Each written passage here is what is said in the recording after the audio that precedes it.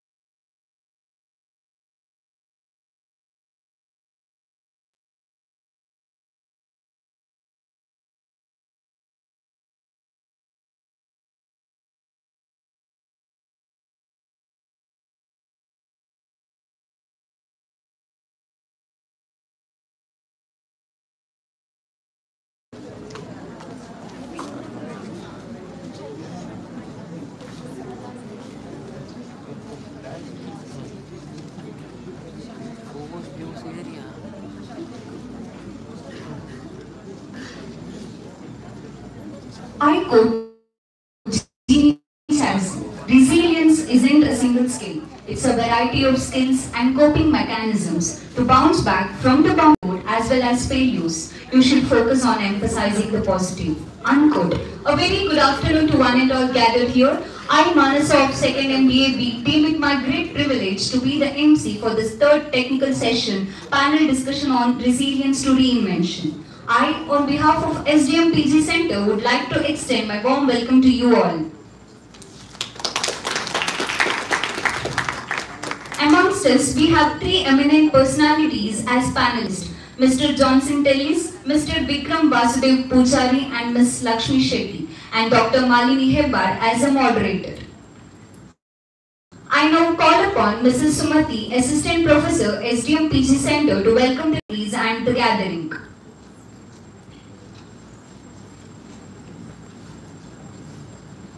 Good afternoon to one and all present here. It's my privilege to welcome you all to this resourceful panel discussion session. Today, we have with us very, very eminent and resourceful persons as panelists and moderator who would be enlightening us on varied aspects of resilience and reinvention. Firstly, Mr. Johnson Tellis, CEO and co-founder InUnity LLP Bangalore, is with us who will be speaking on community center innovations and wealth opportunities for all. I, a warm welcome to you, sir.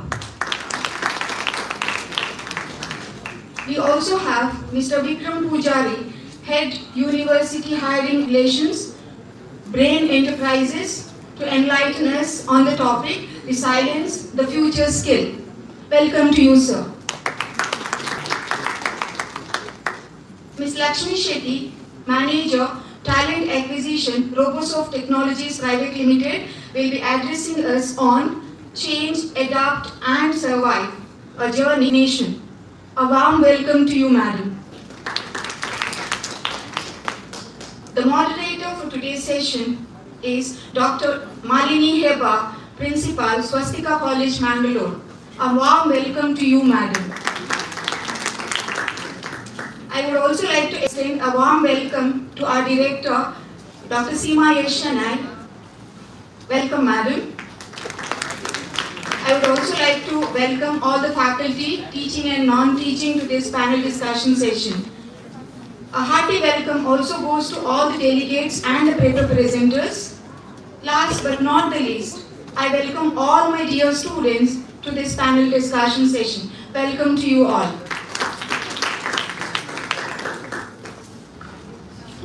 Thank you, ma'am. A hearty welcome to you too. Now I call upon Ms. Krita to introduce Mr. Johnson Tellis.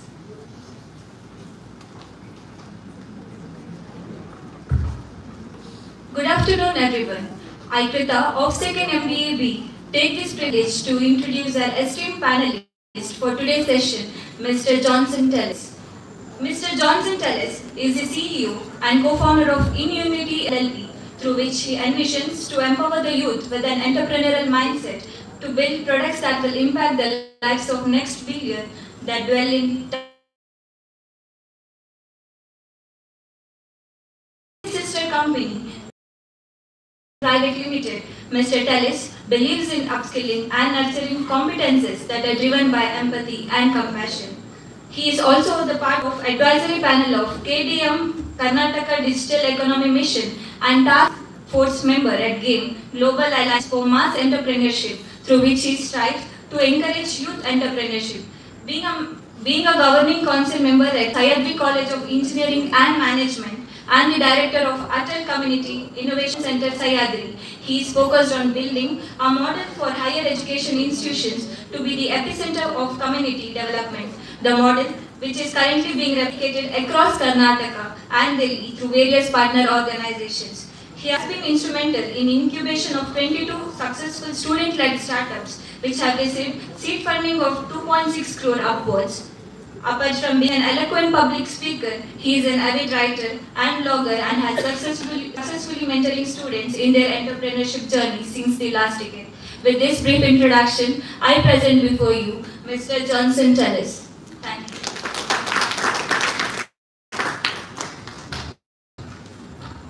Thank you, Krita. I would like to call upon Ms. Pragna Rao to introduce Mr. Vikram Vasudev Pujari. Good and all gathered here. I, Pragna from 2nd MBAB, deem it my privilege to introduce the panelists, Vikram, Mr. Vikram Vasudev Pujari, Lead University Hiring and Relations, Brain Enterprises, Bangalore. Sir is an MSW HR graduate from Mangalore University in 2008 and BHR from Mangalore University in 2006. Sir has accomplished professional offering over 15 years of rich and extensive experience in managing all phases of full cycle university recruiting. Proficient in leading talent management, university recruiting, talent engagement, HR operations and onboarding for effective engagement of early career talent. Resourceful in managing employee life cycle, grievances, employee engagement and MIS through strong awareness on standard conditions of employment. Expertise in talent transformation projects and enhancing candidate experience during virtual hiring. Mr. Vikram has also involved in HR tasks like screening resumes, conducting interviews, and also conducted pre-placement talks along with business module heads prior to virtual hiring event. Sir has collaborated with schools across tiers for talent attraction and full-time hiring. He functioned towards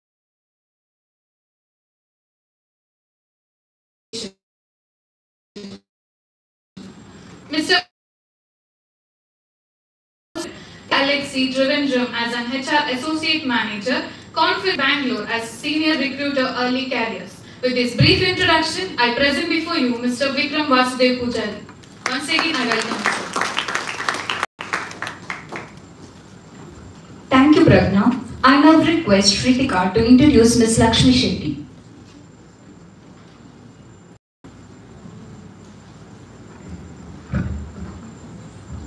Good afternoon. I, Kritika of 2nd MBA, take this privilege to introduce our esteemed panelists for today's session, Ms. Lakshmi Shetty, Manager, Talent Acquisition, Robosoft Technologies Private Limited. Lakshmi Shetty is a native of Udupi, born and brought up in Maharashtra. She is a HR professional and work has an academician with more than 15 years of experience in corporate as well as in education industry.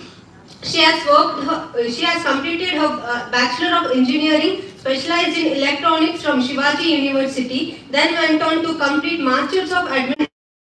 Is currently working in Robosoft Technology Private Limited, Udupi, as a manager, talent acquisition, handling the role of campus relationship manager. HR by profession, but teacher and mentor by choice. She loves to interact with student community and guide them on career progression, preparation required for various technical and non-technical roles and social uh, and soft skill development. With this brief introduction, I present before you Ms. Lakshmi Shetty. Thank you.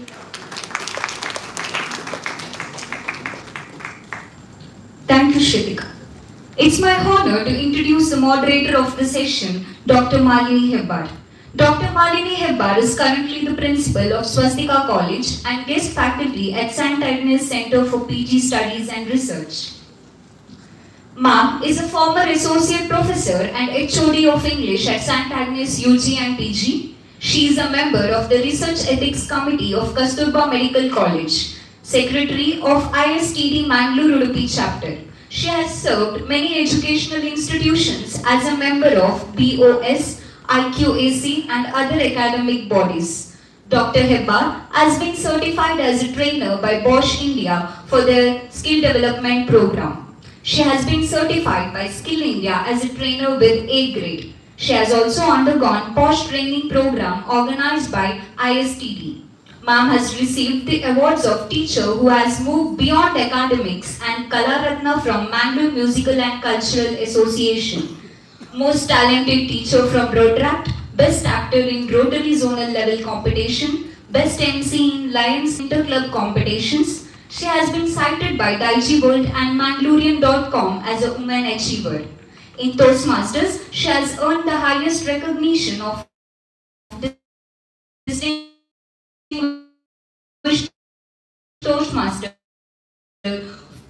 Four times. She is the former can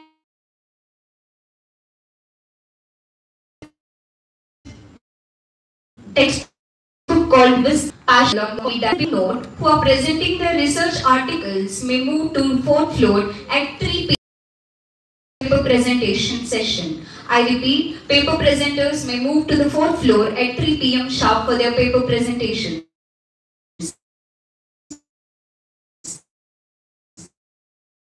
I request Madam to take over.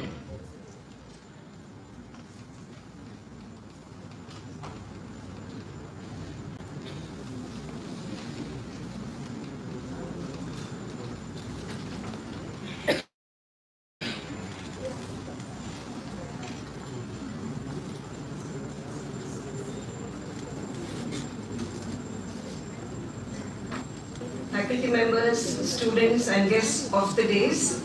It's customary for me to thank the one who introduced me, that's the MC, whose name I didn't get, I got all the other names. But I thank all of you because you have made my job easier by introducing the panelists. Otherwise, the moderator sometimes is supposed to introduce the panelists. You have made it easier for me by giving such uh, an extensive, comprehensive introduction of the panelists. Sumati ma'am, thank you for asking me to be with us.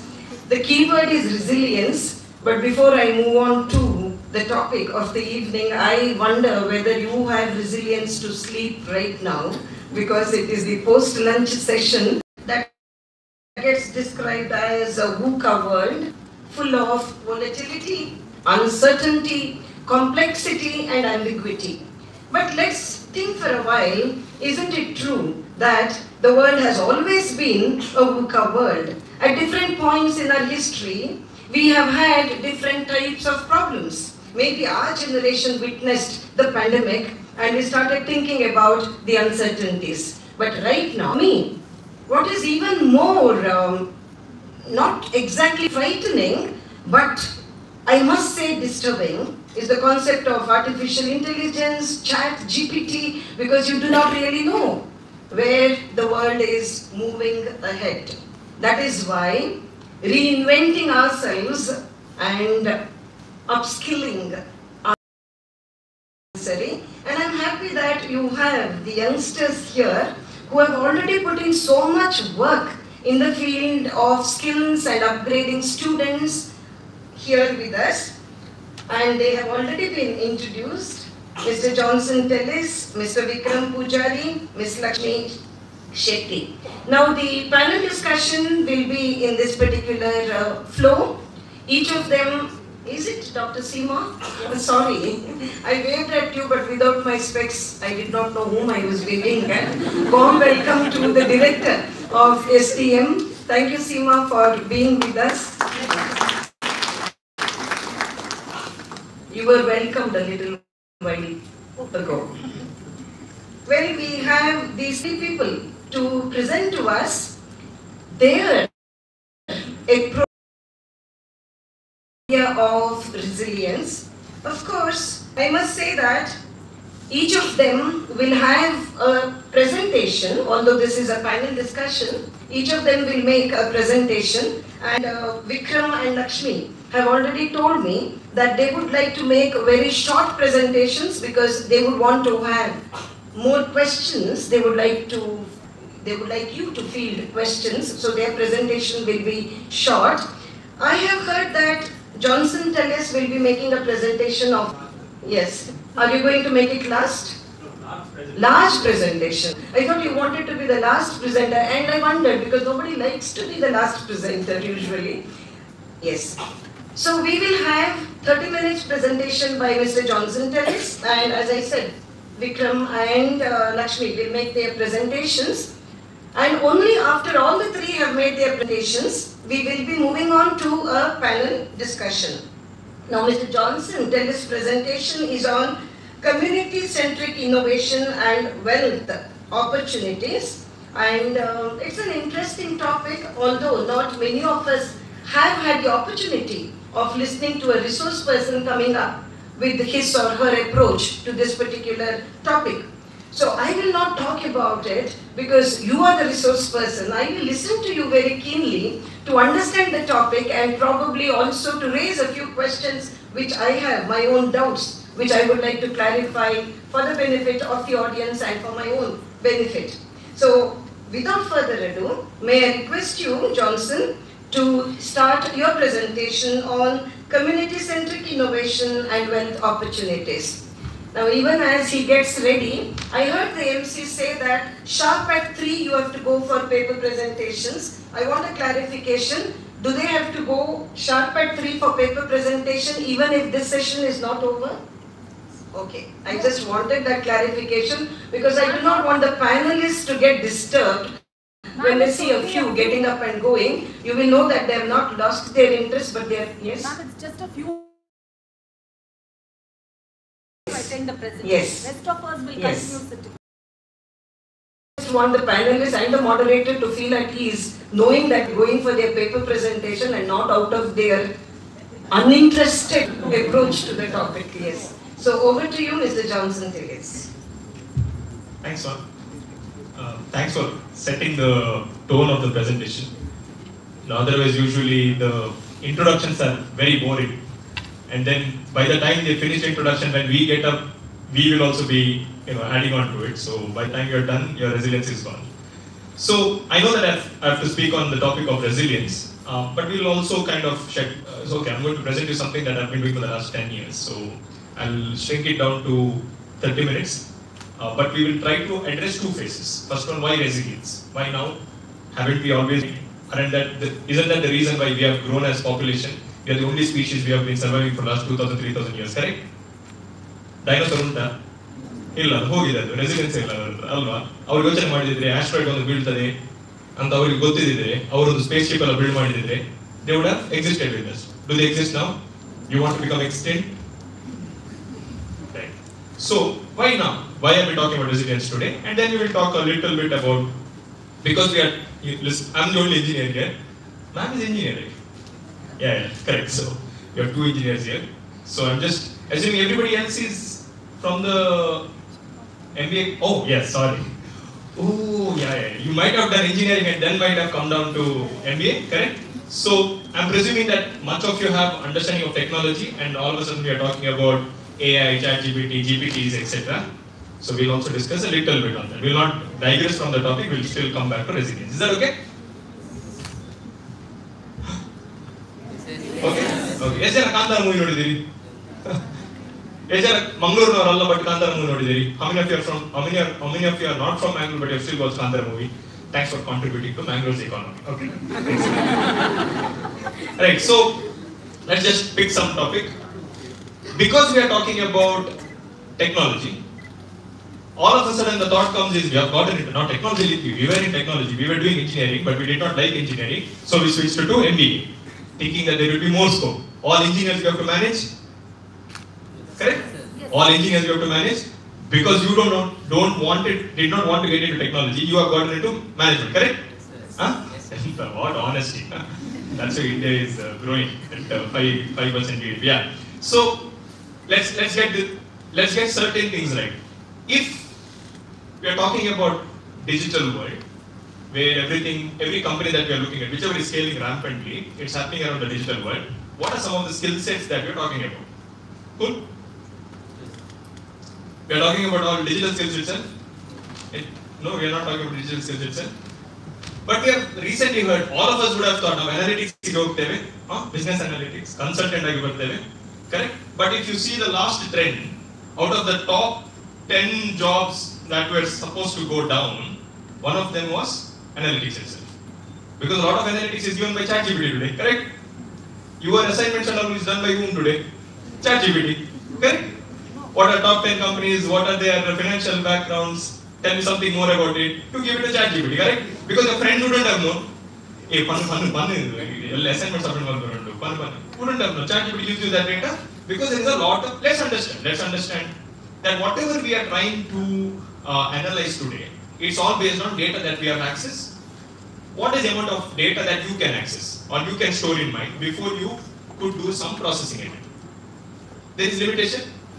You used to then go to computers, you used to put the formula and then you used to do the computation and then whatever it inferred, you also added your intelligence and you came and said, ma'am ಈ ಸರ್ತಿ ಇದರಲ್ಲಿ ಬೇಡ ಹಣ ಹಾಕೋದು ಇದರಲ್ಲಿ ಹಾಕುವ ಇದು ಹೋಗ್ತದೆ ಇದು ಬರ್ತದೆ correct that's what we have done ನಾವು all of a sudden GPTs, okay, general purpose, uh, your architecture that has been built, it has got access to all of that data. Not just text, not just speech, not just video. There's also access of a lot of data which has been published over internet.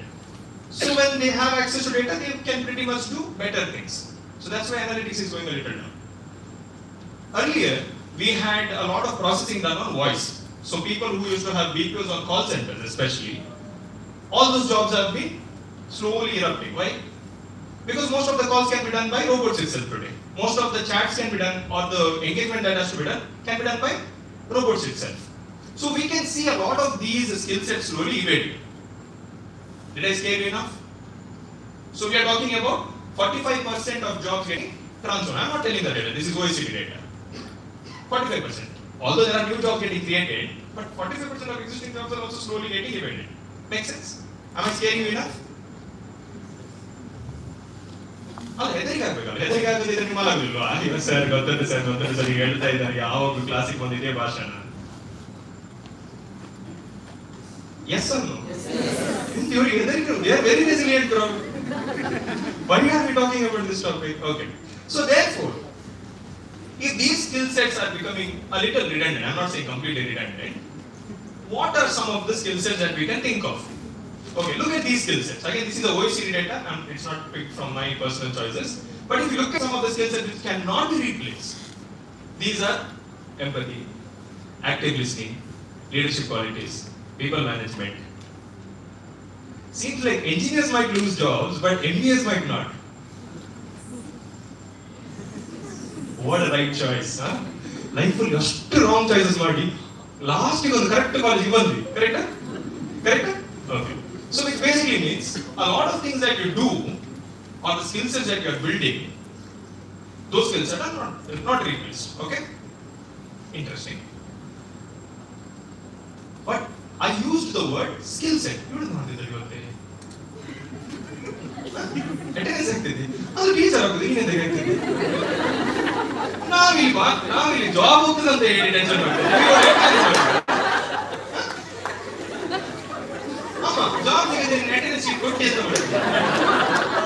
Okay, let's come back to the topic. So, if I, if I just think about what did I say? I said skill set, correct? Did I say skill set? Okay. If I have said skill set, what is the difference between knowledge and skills? How many of you play? How many of you play football here? I don't play. How many of you play football here? DM. Ah, 22 people, 3 people. You play football? Ah, okay, good. Now let's say, for example, the goal post is there. Okay, that post. I know I'm very good in physics. Okay, is here. At what well, what force should I kick the ball so that it goes and uh, falls into, uh, inside that goal post? Other I'm not telling that you're not good in physics, which is evident. But I'm just saying. I'm just saying, if the ball is here, I'm not going to tell you the formula, etc. That's too much out of the topic. It's out of syllabus also. If the ball was here, if I kick, I presume that okay, I should kick at one particular force so that it can go there. I can't just hope on the Correct? Common sense. That's knowledge. Okay? Somebody has taught me how to do it. I know how, how it has to be done. Then you will tell, ಮಾಡಿ ತೋರಿಸಿ ಭಾರಿ ಹೇಳ್ತಿದ್ದೀರಲ್ಲ ಈ will tell ಭಾರಿ physics ಅಲ್ಲ ನೀವು ಮಾಡಿ ಮಾಡಿ ತೋರಿಸಿ ಹಾಗೆ obviously it will not go correct so then comes what skill so then what is the difference between knowledge and skill I should have done so many times, right? How to apply? Correct. Application is skill. Application is skill? No. I applied the knowledge. I hit. It didn't go. So, am I skilled? Practice is skill. So I have to do it every now and then. ಕ್ಲಾಸಿಗೆ ಬರೋದಿಲ್ಲ ಬಂದು ನಂದು ನಾನು ಇಲ್ಲಿ football ಹೊಡೆದಿದ್ದೇನೆ Am I having skills? Am I having skills? Somebody has to tell me that I've improved. I have to set a goal, right? I have to tell that I will hit it in this way. It will go and hit that place. I will do it hundred times before it actually starts hitting that place, and not once. I have to do it every single time. Every single time it has to hit there. Then I am called skilled. Correct? Let's bring that back into context. Now, ಅನ್ಕೊಂಡಿದ್ದೇವೆ ma'am ma'am ma'am ನಾನು organising skills ಉಂಟು ನಂದು ನಾನು organise ಮಾಡ್ತಿದ್ದೆ ನಂದು organising skills ನನ್ನದೊಂದು certificate ನಾನು ನೀವು ಒಂದು ಹೇಳಿಬಿಟ್ರೆ ಸಾಕು ನಾನು ಆರ್ಗನೈಸ್ ಮಾಡಿದ್ರೆ I will go to a company and show this certificate and then I will get a job because I have the skills of ನಾನು ಇಷ್ಟು ಜನ ಎಂತ ಕಷ್ಟ? ಒಂದು ಪ್ರೋಗ್ರಾಮ್ ಮಾಡೋದಂದ್ರೆ ಸುಲಭನ? ನೂರು ಜನ ಬಂದಿದ್ದೀವಿ. ಇಪ್ಪತ್ತು ಜನ ವಾಲಂಟಿಯರ್ ವಾಲಂಟಿಯರ್ ಎಲ್ಲಿ ಹೋಗಿದ್ದಾರೆ ಅಂತ ಹೇಳಿ ನಾವು ಕಾಲ್ ಮಾಡ್ತಾ ಕೇಳಬೇಕು. People management skills correct very difficult but just because you have manage twenty people should I give you certificate that you skilled in people management What have you managed? What was your goal? Was it supposed to be seamless? Was the communication supposed to happen efficiently? Were there, were there supposed to be less errors, etc.? Then, if you have put yourself a goal and then you have achieved it, then you are supposed to be a skilled person. Make sense? So, know the difference between knowledge and skills. So, when that these are some of the skill sets, how do I achieve that? How do I achieve it? How do I achieve negotiation? How many of you have even negotiated at least once? The last you have negotiated is with the market person. Huh? Go and negotiate in Sagaratna. ಕೊರ್ಬುಜಿ masala ಕೊರ್ಬುಜಿ ಐದು ರೂಪಾಯಿ ಎಂಜಿನ ಐದು ರೂಪಾಯಿ ಐದು ಐದು hotel you are getting at 30 rupees for 50 rupees or what no no no no no where do you negotiate huh? the person who is a lit- you think is a little inferior to you ಗನ್ನ ಐವತ್ತು ರೂಪಾಯಿ ಕೊಟ್ಟು ಪಂಚಿಗೆ ಇದು ಮಾಡೋದಿಲ್ಲ make sense go and I'm not saying negotiate in terms of bargaining, but I'm negotiating in terms of getting things that you really deserve or you whatever it is. So you have to start applying and you have to be conscious about it that I'm doing it. Interpersonal skills. How do you manage people? Taking responsibility of a particular program, taking responsibility of a particular event that you're doing. You know, I've seen a lot of people you doing it, but First, first, if you list a couple of things that you really wish to, really wish to achieve in that program, you put a target, and then I, I will, I will request you to organize one event for me, and I will say I want 500 people to join. You will come and say 300 people came, but you will now say 300 people I organized. But what was the goal? 500. If you had got 500 people for that event, then I would have known that you have a way of getting people. Correct? So putting goal and then achieving it makes a lot of sense. And if you do it repeatedly, then it is considered as your skills. Make sense? Simple? Understood? Next time don't bunk classes and just tell that I have done this, this certificate I have got. Don't do it. ನಾನು ಹೇಳಿದೆ next time ಅವರು ಬರುವ ಒಂದು ಹೇಳಿ ನೆನಸ್ ನೆನಪು ಮಾಡಿದ್ದಾರೆ because my students have done it. Yes. So let's think about it. When do I start? Is it too late? Sir ನೀವು ಬಂದು ಸ್ವಲ್ಪ ಲೇಟ್ ಆಯ್ತು ಬೇಗ ಬರಬೇಕಿತ್ತು Should I start now? How do I start? I might not have the re- required skill set because skills require time, right? You have to do it over and over again. You need to have a coach. you need to validate it, benchmark it with something, right?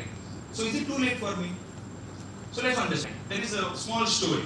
There is this, uh, uh, there is a kingdom and the king was very pleased with his kingdom because the farmers were all producing something. Um, but there was a situation. Okay, there was some drought happening, and the farm, uh, the king anticipated that this problem is going to bring some economic downturns His senate, nobody could solve it. There was a wise man in the court whom the king was. Uh, the king admired that wise man a lot. He called the king man, uh, wise man, and he asked, "How do you solve this?" And he solved it. Okay, that story ಬೇಡ ನನಗೆ. ನಮಗೆ next story ಬೇಕು. So the king was so uh, amazed with the solution. He said that person, you, whatever you ask, I will give you. so the wise man said, good, get me a chessboard and then in every check uh, square box, I have to place a grain, rice, okay? And every time you place it in the grain, I'm king, okay? Do that. So he called his grains. And every time you have to double. First the square, how much is it? One. Second, two. That is unhinged. It is no mark. Not focusing at all in my class. Huh? First square is it? One. Second square? Third square?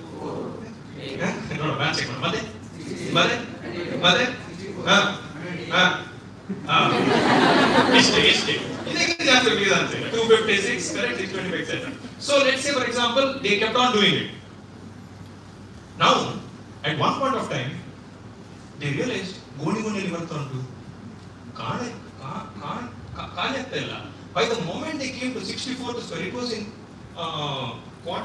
What? 10 to the power 14. Okay, that kind of his kingdom, he did not have that much of grains. What is the example of? It was so abundant. It was it was taking the grains of the neighboring king, kingdoms also. What is this an example of? Power of compound. Pom- power of Compounding. compounding. You are interested. पैसे सही है उसके पास है okay so it is a power of compounding right now you can apply this it you have applied it in finance. Can you apply it in your own skills? Right? I'm not saying that overnight you will become skilled it is impossible. Impossible even if i give you my training. I can come here today talk for 20 minutes and go. Impossible for you to build a skill set. What i can create? Awareness. I can sensitize. You I can put some spark in your mind. Already have had an experience. I can connect to those experiences and tell that this is what it means. My perspective which becomes your knowledge. Who builds skill set? Who builds skill set? Are who builds the skill set? Can I build skill set for you? Football, body, body, body. Can I do that for you? No. You have heard about Rafael Nadal who became uh, the, uh, he had the most uh, titles. You book, read his book called Rafa. Okay? He started at the age of six. When he barely could run, he was playing tennis. Okay? And that culminated to who, whom he, who he became eventually, right? So, skill sets are like compounding. So, you start today, and over a period of time with a lot of experience, it compounds. And at one point of time, you become so, the things become so abundant that people will start calling you for that particular purpose. You become a specialist in it. Of course, you need to be generalist in this world, but I'm also saying that you got to be specialist in your own field. You need to know what's happening elsewhere so that you can connect the dots, but at the same time, you got to be special in your own field, and that happens because of compounding. Make sense? Make sense? Okay. Next slide. So therefore, how do you do it? What is is there a uh, is there a way of doing it? And that's something that I would want to share. That's the community-centric model that I'm speaking about. My interest is in entrepreneurship. I'm not asking everybody to become entrepreneurs, but you need to have an entrepreneurial mindset. Because an entrepreneur, the best part of an entrepreneur is he finds an opportunity in uncertainty. Ma'am spoke about uncertainty. What's uncertainty? You don't know what's going to happen. Humans don't like uncertainty. Imagine some ma'am comes today, you don't know whether she's going to be an entrepreneur. And of course, you have to build it. You have to build on top of it. But if you're able to predict it, then I call entrepreneurial mindset. You should be able, you should be, you should be resilient, you should be initiative oriented, you should be growth mindset, you should be ambitious, etc. There are 10 parameters I talked about, but all in all it talks about entrepreneurial mindset. Now I don't want to teach you on entrepreneurial mindset. But if I were to tell you a way of doing it, would that be okay?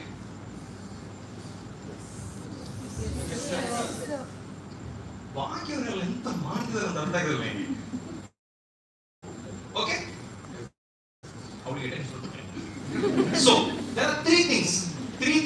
necessary for some innovation to sprout okay some creative stuff to be done okay so those three things are desirability you need to build something people want right that's the first one you go and tell a business person if you go and sell something to somebody without knowing what he wants will he buy no. So which means the first principle is you ask person what do you need, correct? Desirability. The second one is you see whether it can be done. Feasibility, can it be done or not? Last one is viability. You build it in a way that it comes within a or that he perceives it as of a lot of value. Three things. Now, if I were to tell each one of you to build it, if I come, if I ask each one of you to come up with some innovation or creative stuff, might be a little difficult. So I'll give you an alternative how to do it. Cool? First one, go and ask in your region what is needed. Example, if you are interested in MSMEs, go and talk to KCCI in Mangalore, Kanara Chamber of Commerce and Industry. If you are interested still further in specific MSMEs, you can go to District Innovation Center, District Industry Center, which is there in Mangalore. If you are interested in a particular community, your parents belong to say fisheries community, go and talk to those fisheries community. There is a head here. You can go and talk to them, or you can talk to the fisheries university as well. You will get to understand what's happening in that uh, community. When I say community, it's group of professionals. Okay, I'm not talking to talking about a particular community, religious, community, not that. professional communities. You can talk to them, especially if you are a part of the associations. You will get to know a lot of things that is happening on the ground. Make sense? First one. Now, do you know all the answers? How to solve it? No. So, many people who might have come up with ideas or might not know how to build on top of those ideas, or you might be somebody who know a part of the idea, you can tag along with it. Okay, where do you find them? Where do you find them? In your own college, there might be some clubs where some students are working on some idea. Aimlessly go and tell, can I become a part of it? Or go to neighboring colleges. If you're competitors for some other college, don't go to that college. You can go to engineering college. They're not your competitors. But you will have to someday take care of engineers only. Correct? Go to engineering colleges. Go and see what's happening. A lot of work happens colleges also. Can you go to those colleges? Yes. Okay, good. Or you can go and start seeing some of the incubators to start with. It's a great start. Incubators. Why? Because in these incubators, a lot of these companies that are being incubated are all working on some fresh ideas. They're not working on 1947 ideas. Make sense? So go on, go and start exploring things that are happening in incubators. Third one, you need business mentors. Somebody who can help them in businesses. Now, of course, there are mentors for those companies if they have already formed one. If not, you can become an associate. Okay, you can tag along and say these are some of the areas, some of the areas that I wish to contribute in. For example, a lot of you guys are in finance, HR, marketing, right? Start contributing to that organization, small organization. Why? Because when they're small, they need a lot of help. They have to explore a lot of things, but they have a direction in which they have to go. They know this is what I wish to do, but they don't know how it has to be executed. When you start working with them, a lot of these things can be picked up easily. Remember the example that I gave? I can tell you how to do it. I can tell you that these are some seven steps of Semco Foundation, uh, how you have to have a great management. I can also tell you some other some other principles of Toyota way and so on so. But I can't make you do it. When will you be able to do it? When you actually go and work with them. You start applying what you have learned there. But those guys have goals, correct? They have revenue targets. They have certain aspects of learning and development. They have to learn certain skill sets in order to build it. A lot of these things are available. These are targets for the company. Target for the company. So you help them in building it. Okay? By doing these three net dots, if you connect these three dots, you automatically start working on a project that is very real time. And you do that for about three months or six months part time, you actually start developing the skill sets. Unknowingly, you will have a lot of these terms with you, which basically means next time when somebody comes for an interview, you can pretty much answer every question that they ask with confidence. Simple? No. It's not simple That's what I said. Listening, you can, it's musically ears. Oh, ಎಂತಲ್ಲ ಎಲ್ಲ ಮೂರ್ಖರು ಹೇಳಿದ್ರು ಮಾಡಿದ್ರಾಯ್ತಲ್ಲ ಇದೆಂತಲ್ಲ ಬಿಡಬೇಕಲ್ಲ ಹೋಗ್ಬೋದು it's same You're not the only one who's getting skilled. You're not the only one who's getting trained. Not, ours is not the only country that is fo- focusing on. Ours is not the only state which is focusing on jobs. Ours is not the only country which is focusing on the next big stuff. We are still growing at 5, uh, 5 trillion. We are still targeting at 5 trillion, but our GDP is somewhere around 4.5 to 5. Right? So if you really want to secure your future, you've got to do this and you have to get out of the campus first. Now question is, have I done this before? Sir, you did it, but proof there is before. So I'll quickly run through. First one, okay? These are a group of students who work with the cashew industry, built their company, they're now working, building their software for 17 other companies. He's still in fourth year, but he's already making money, he's already paying four employees this was a company that we formed long back but the student who then eventually took he got the seed fund he's growing the company he's there in two states right now this he's still in fourth year. He recently got the funds that uh, to build his prototype, but now he's actually uh, Nasik. He's being uh, funded by Tata's this program. Uh, this uh, guy was uh, he wanted he pivoted a lot of times, but uh, the final verdict is that he has built a sound system that uh, pe- uh, if you know this nuclear band, Ritviz they are the investors into this, and they recently raised uh, four and a half crores to build the first 5,000 units. Uh, simple examples, if you see the uh, one in the left, it's actually a rubber tapping tool because the Rubber Association wanted a tool to give their semi-skilled employees. They built that. If you see on the right hand side, they built a small tool for uh, puff packets, milk puff packets, you know. So you have to chop off the tip, but this one you can just insert it, you can open students. Each of that has got about 40, 40, 45 lakhs. And the first order that they've got is about 1.6 crores.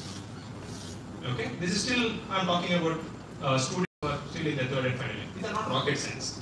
This is gone down. We are consuming all the time. We are in Instagram and Snapchat. When I don't understand, you'll go back to your phone. Tick, tick, tick, tick, you'll swipe.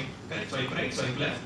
Yes, right? So, if you don't observe, how will you be able to uh, point out at opportunities? Right? I don't want to sound like same. Make sense? So all these things have come because of observation. So I told you a shortcut. Because you are not able to spot the opportunity, why don't you go and work in the way that I have spoken? There are people who have already found an opportunity. Why don't you go and tag along with them and help them? In the process of helping them, you will apply whatever you have learned. They will challenge you. They will make sure that you achieve the goal. Right? In the process of achieving the goal, you will build a skills. Make sense? Make sense? Okay. On the topic of being, uh, you know, resilient, there are three areas that you need to really focus. There's a book written called book by Angela Duckworth, which is written on resilience itself. So if you look at the whole philosophy, you go and read that book called Grit. If you read the whole philosophy, the whole philosophy is divided into three: discover, develop, deepen. The reason why you understand resilience, right? Should I uh, tell you the Oxford uh, definition of it? Because I don't know. Thanks. For saying. Okay. So if you look at those three phases, discover, develop, you can only be resilient when you love what you do. Okay? That means no matter who says you what, you'll still continue doing it. Now you see, if you have taken engineering against your own wish, because your parents told you to do it, what would you have told when you got the first uh, low scoring subjects or if you had backlogs? What would you have told your parents? ಬೇಡ ಇತ್ತಲ್ಲ ನೀವ್ ಹೇಳಿದ್ದು ನಾನು ಹೇಳಿದಲ್ಲ ನೀವ್ ಹೇಳಿದ್ದು ನೀವು ನನಗೆ ಫೋರ್ಸ್ ಮಾಡಿ ಮಾಡಿ ಹಾಕಿ correct but if it is your if M B is your choice what would you tell your parents ಈ ಪೇರೆಂಟ್ಸ್ ಎಂತ ಕಮ್ಮಿ ಮಾಡಿದ್ದು ನೀನೇ ಅಲ್ಲ ಹೇಳಿದ್ದು what would you say you will obviously go back and learn, right? So if you discover, that means if you exp- how will you discover? If I tell you to go to a hotel and if I tell you uh, there is a best dish called dosa, every time you go to the hotel and you will eat only dosa, you will come on, come on. What you going to eat in Pabba's? There are about uh, 63 items there. Which item have you eaten most? Gatur. Tiramisu, gatur. Tiramisu is my favorite. Next time we'll fish one. Only. Dilkush. Tiramisu, chocolate that, then chocolate lava with vanilla slab, whatever, right? What about the other things? You have not eaten. ಯಾಕೆ ಇಷ್ಟಿಷ್ಟು ಓದಿ ಯಾರು ಹೇಳುದು experiment ಆಗಿ ಮಾಡಿ ಇದು ಸಾಕು Now this is the mindset, right? If you have not discovered, how would I know what is my favorite? Right? So explore to discover what you can do. Develop, that is by doing this. If you have already figured out what you want to do, can you please work with them and then improve upon it? And the last stage comes deepening. Deepening is where you go in depth in certain aspects which is your career. What is the difference between job and career? Simple. Job is short term, career is long term, which means you do multiple jobs to find your career. Okay? Don't tell this is my career. No. You do it multiple times over a period of time, series of jobs become a part of your career. Right? So which basically means it's an ongoing journey. But on the journey, if it has to keep going, that means whatever you have chosen, right, should be of your interest. Which basically means when you are in college, you should explore a lot of these opportunities in order to find something that keeps you going. Make sense? Make sense? So what is the summary? What is the summary? Summary is when you are in college, focus on two aspects. What is knowledge? What is skill? Don't tell I have learned. Show that you have learned. Go to your college to find those three folks. Start working, even if it is a small organization. Don't expect money. Tell them I, I need experience. Go work, and then over a period of time, discover something that you're really interested in. Develop certain aspects of you in that area, and eventually be focused on something that is long term. That becomes your career. Good. I'll share the presentation. I know that you have not written anything. That's what would. Suppose if they don't send me what they have learned. Okay, I'll share my WhatsApp number so you guys, if you have any queries, you can always ask. If you ask end. Thanks.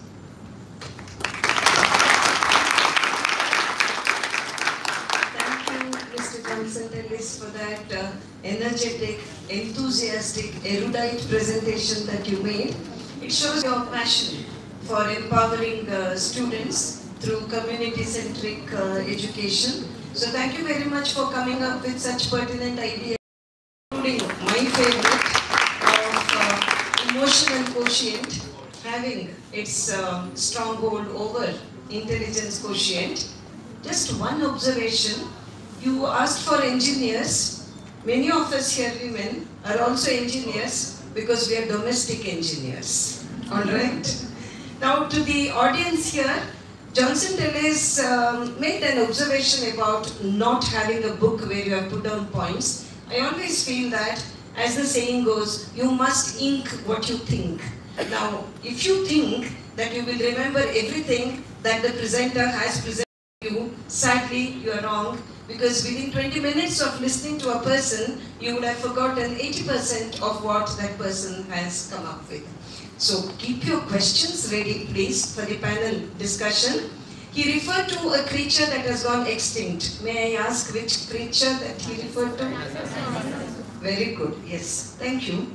From here and there, I get the answer. But I would like to add my own observation about that.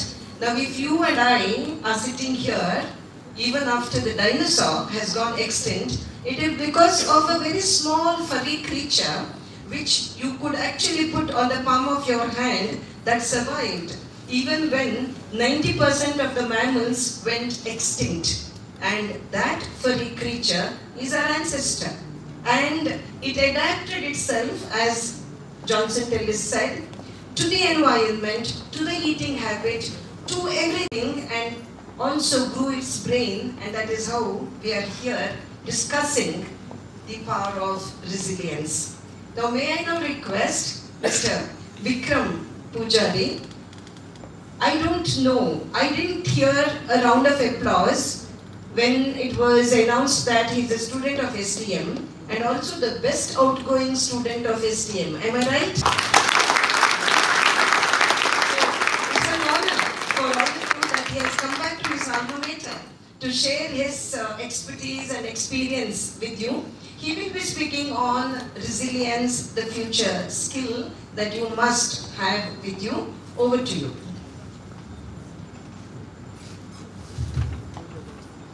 Good afternoon, folks.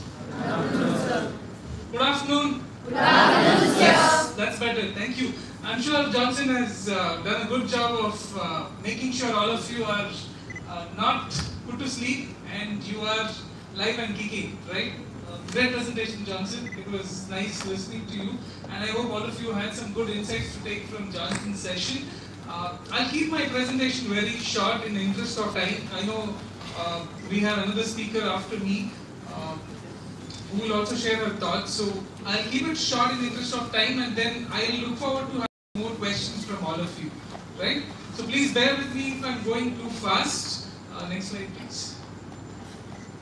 So just a quick, I work for this company called Brane Enterprises. Uh, we have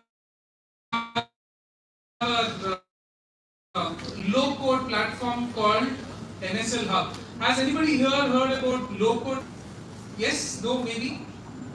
No? Okay. So we are actually creating a platform. Say for example, Amazon is an e-commerce platform. Likewise, we have a product called uh, NSL Hub, Natural Solution Language Hub, where we enable uh, developers, that is software developers, to create applications in a matter of few minutes or few hours, right? Uh, say for example, even you, without knowing coding, without learning coding, that is Java, Python, C, whatever software uh, programming languages, could create applications on our platform, right?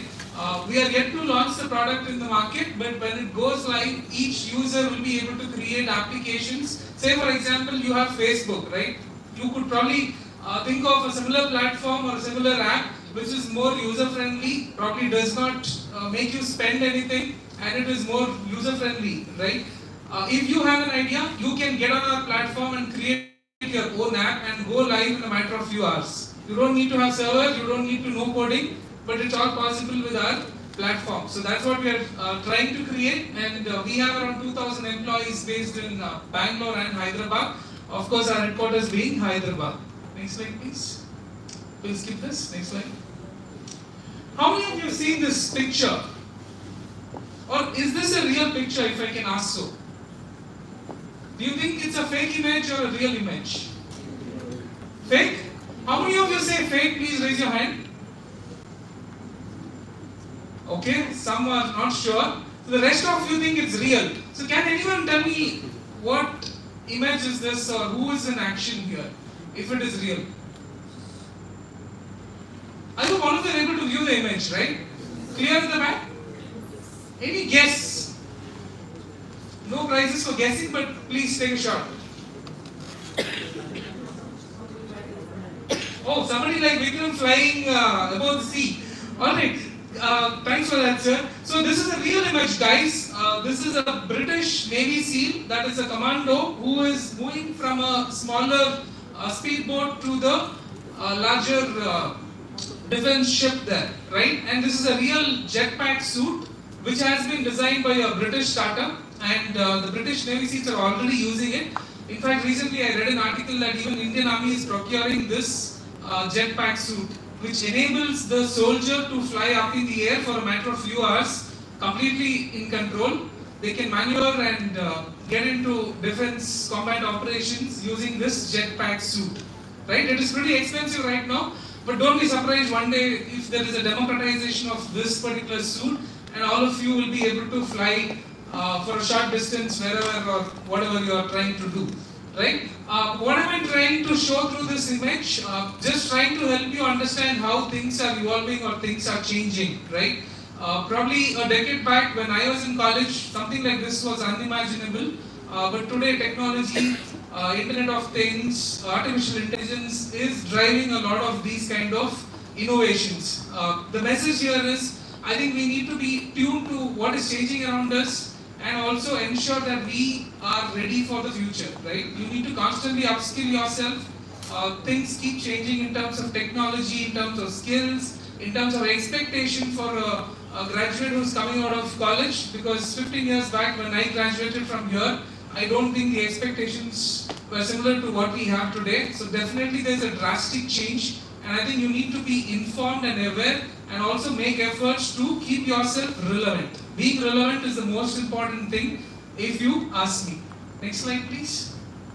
Uh, this of course I will not talk much here uh, but I'm sure all of you know how banking has changed uh, because of technology, because of uh, uh, automation, right? Gone are the days where I had to stand in a queue and take cash after 15 minutes or 20 minutes of uh, giving my check to get cash. Today you just get cash in a matter of few seconds and in fact UPI has changed the way we do uh, banking transactions. Next slide.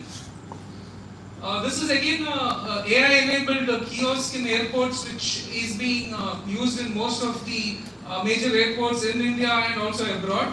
Uh, so it has actually eliminated the need for human beings to be working at airports because the machine is going to be issuing tickets. The machine is going to be helping you to self-help do the uh, web check-in or uh, check into your respective flights, right? Uh, again, I think a lot of jobs that are there and are, that are currently there will evolve. I'm not saying it will go off, it will evolve, right? Best example is ChatGPT that uh, uh, the speaker earlier was also mentioning. Now, ChatGPT is not going to change everything, but it will speed up certain work or processes which are taking more time. Say, for example, if I was a call center employee or a BPO employee, maybe I was taking five to six hours for a process or a report, maybe ChatGPT will get that done in maybe 30 to 40 minutes, right? If someone can apply their common sense and logic, ChatGPT will make a report making matter of few minutes instead of hours together, right? So that's the kind of change that's happening around us. And I think you need to be uh, ready for this change. You need to know which are the latest tools, which are the latest uh, uh, technologies that uh, you need to be adapt with so that you are relevant for the people in a room, right? You just have to tell it that a person needs to be detected anywhere in the globe, it will actually figure out using AI and other softwares where so and so person is right now, pinpoint, and it can even destroy the target, in a matter of few seconds or minutes. That's the capability that this particular US drone has. Next slide. Next slide, please. Next. Okay, so Johnson was telling about dictionary uh, meaning of resilience. I just thought I'll put it up for all of you uh, because this word is something that is my favorite uh, ever since the COVID times. If you ask, uh, believe me, all of you here in this room, including the ones on the dais, I think we all have been resilient uh, during those two three years of COVID times, and that's why we are here in this hall, right? So nobody teach, needs to teach you or preach you about because we all have done that and uh, it is in our DNA, right? To uh, overcome failure or uh, come back and uh, survive through tough times.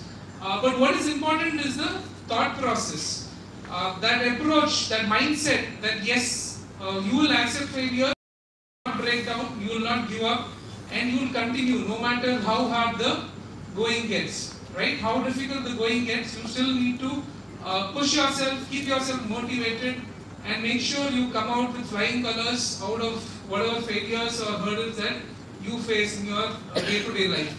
Uh, that's the message I want to uh, leave you all with. I just will take another minute to give two uh, cents from my side uh, in terms of my experience and uh, what I have learned during my uh, uh, career in the last one and a half decade. Today, a lot of things are happening using artificial intelligence, uh, which means uh, you need to be tech savvy, you need to uh, embrace technology and get used to uh, living alongside technology, right? Whether you like it or not, uh, most of our work is through AI-driven tools, softwares that we use for day-to-day work. Uh, there's a lot of high turnover in the industry. People are quitting companies. There's high attrition. HRs are figuring out how to retain people, how to engage the uh, millennial workforce. Nobody has the answers, honestly. Uh, we're talking about gig economy, which is typically nothing but as a service uh, business model, right? Uh, you have companies today who don't even own a single car, but they are uh, giving rights to millions of customers across the globe. The Ubers and the Olas of the world. They don't even own a single car uh, on their platform. It's all gig economy. Typically, what it means is uh, you just pay for the service that you use, whether it's a car, the driver, uh, like the uh, even the hotel industry, right? Uh, we saw disruption there. Nobody uh, who owns the hotel runs those hotels. It's all outsourced. You just pay for whatever you use.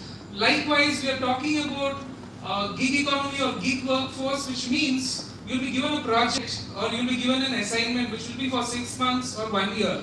Uh, you may not be getting a permanent employment for the entire rest of your life. Uh, like the government jobs that we have today, you could be hired for a year or two for a specific assignment. You do that and you then find your next gig. Uh, that's going to be the future uh, in terms of uh, workforce management. And uh, it is very important that you have a good presence on social media platforms. Make use of social media platforms for the right purpose. Don't misuse is my advice. Seen a lot of youngsters screwing up opportunities, whether it is personal or professional, because of uh, use of uh, things on social media, right? Uh, how many of you here on LinkedIn? Okay, great. Good to see that. But those of you who are not on LinkedIn, please get on to LinkedIn. There's a lot of interesting content. If you're serious about making a good career, LinkedIn is where you'll find the right people. You need to follow the uh, people who actually can give you a lot of interesting content and knowledge. Uh, that's where uh, a lot of industry professionals are active. So please be uh, online on LinkedIn and get going. Uh, I think rest of the things, uh, just one last point. I think what Johnson mentioned, having a coach is very, very important, guys.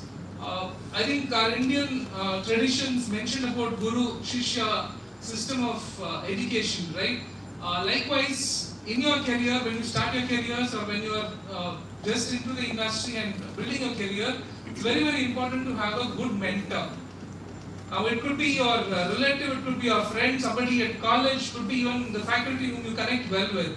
But I think it's very important you have a mentor, especially when you're starting your career, because that will help you to avoid doing the or falling for the pitfalls which generally people fall for in terms of career, jobs, uh, making the right uh, decisions when it comes to opportunities. So, if possible, uh, have a mentor for yourself who could guide you professionally, uh, to an extent, maybe sometimes even personally, but it's very important you have someone uh, guiding you, uh, especially when you are confused what to do.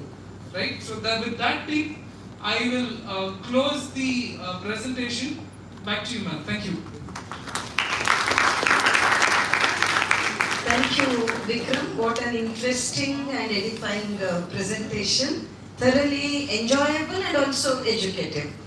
But you almost frightened me. I can almost imagine a drone somewhere there targeting Dr. Malini Hebbar in particular. So I feel quite nervous sitting here. Nevertheless, when you spoke about chat GPT, the relieving feature for me as an English professor is that I believe chat GPT passed all tests but not the test of literature. So we are safe there. I have a couple of questions for you which I will come up with if the audience does not come up with the same questions. That's for a later point of time. Moving over to the only lady panelist, that is uh, Ms. Lakshmi Shetty.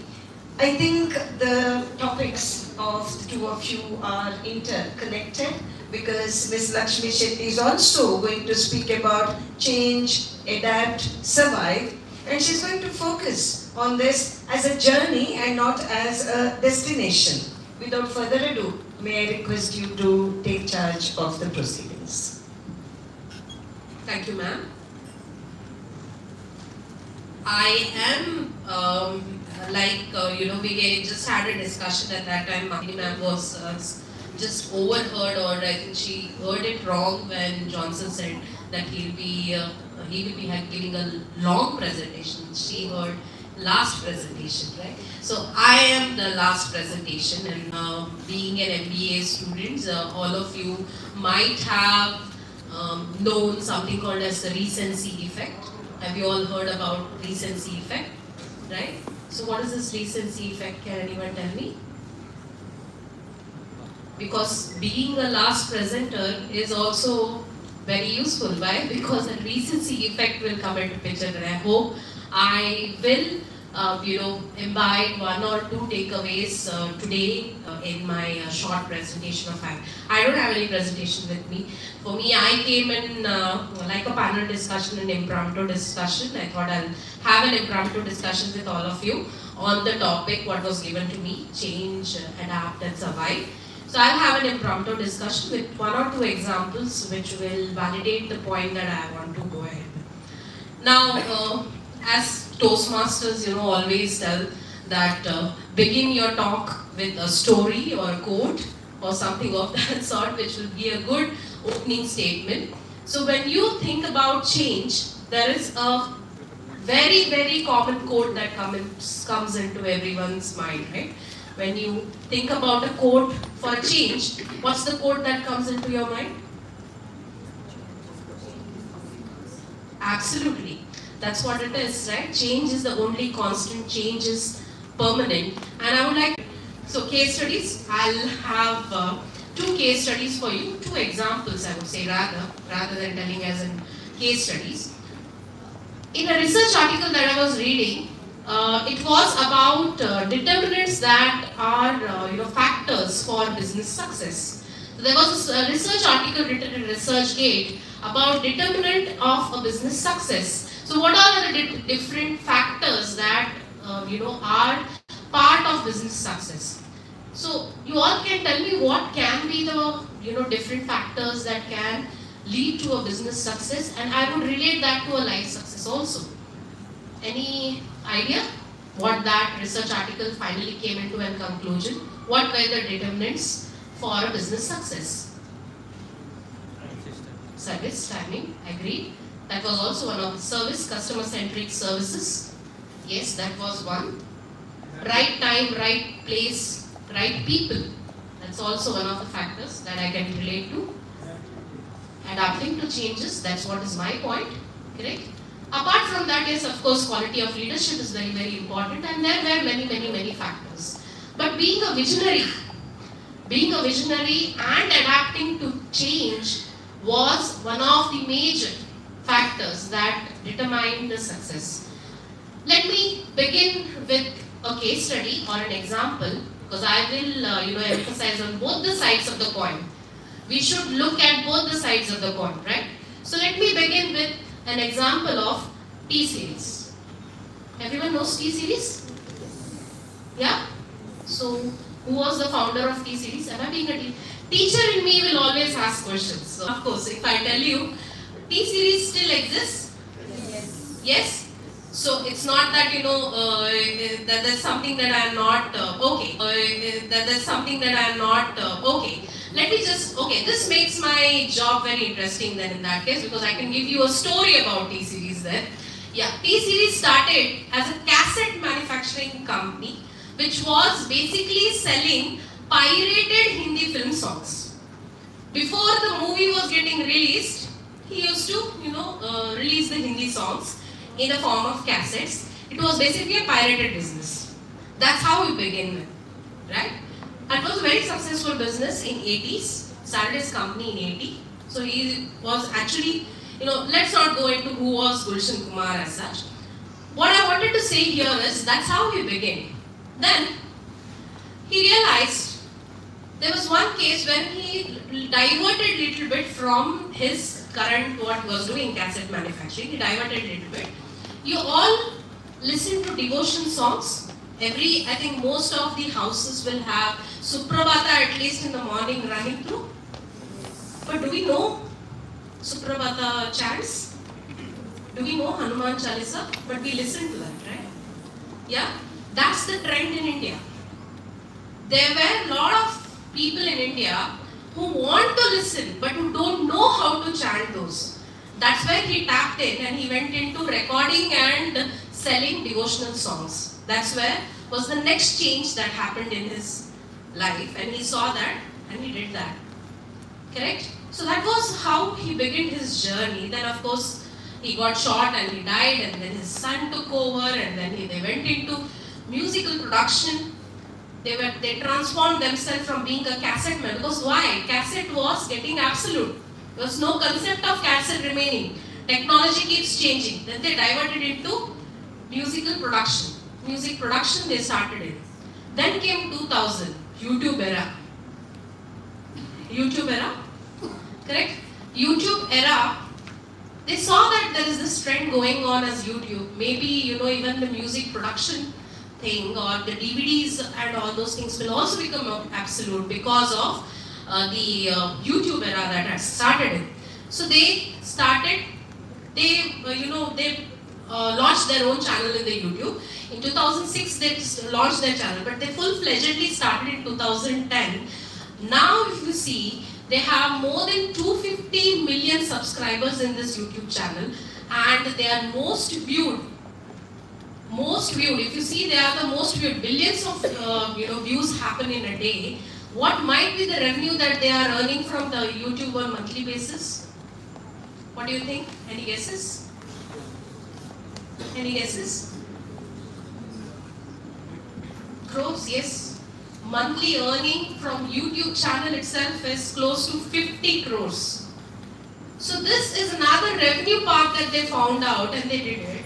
Now the T series, what I want to emphasize here is from 80s to 20, 2000, they transformed themselves. If I have a student, I recruit, and you know, after three months, months, the fresher resigns, and I will ask what is the reason for resignation. I think Vikram will always, Vikram will also relate to it.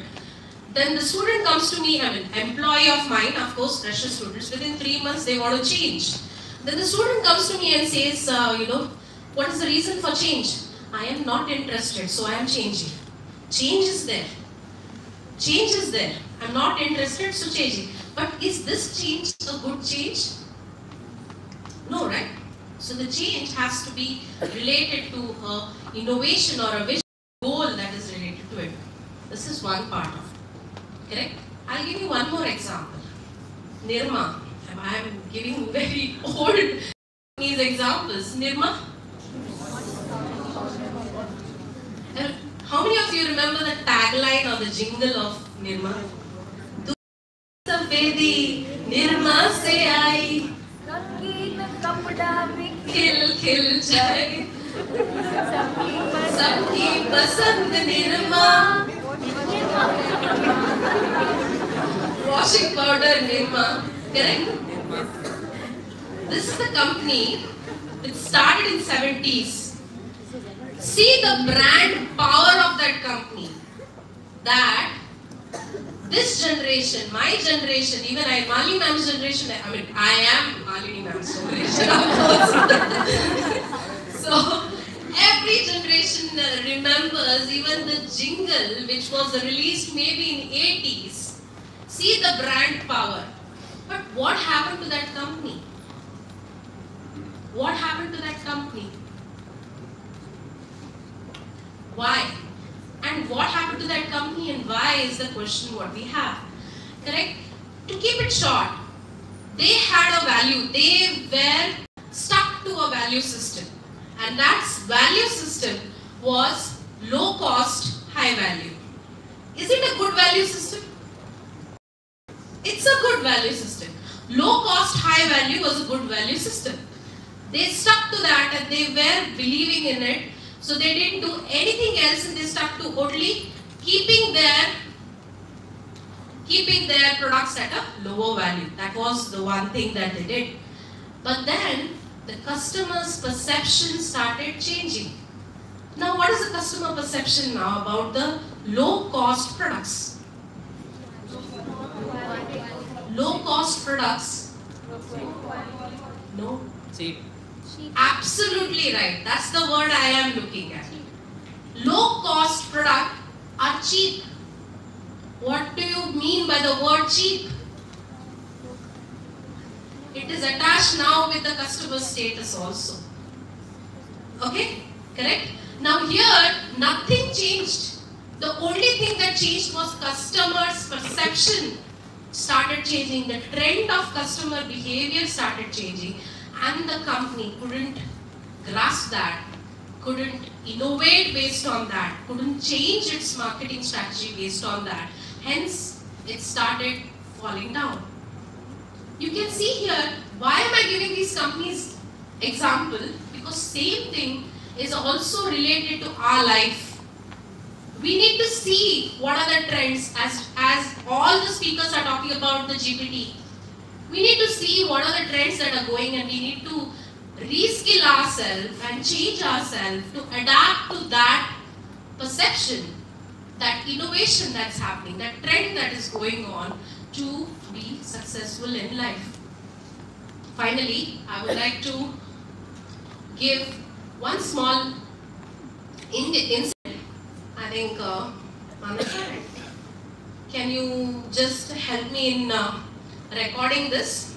Because this is uh, uh, one aspect that I wanted to show my colleagues as well. My phone? Yeah.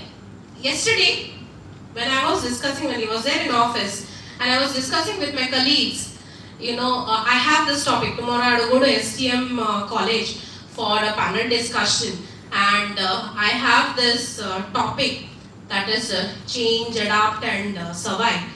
What should I talk? You know, that was my question to all my colleagues, my HR colleagues who were sitting along.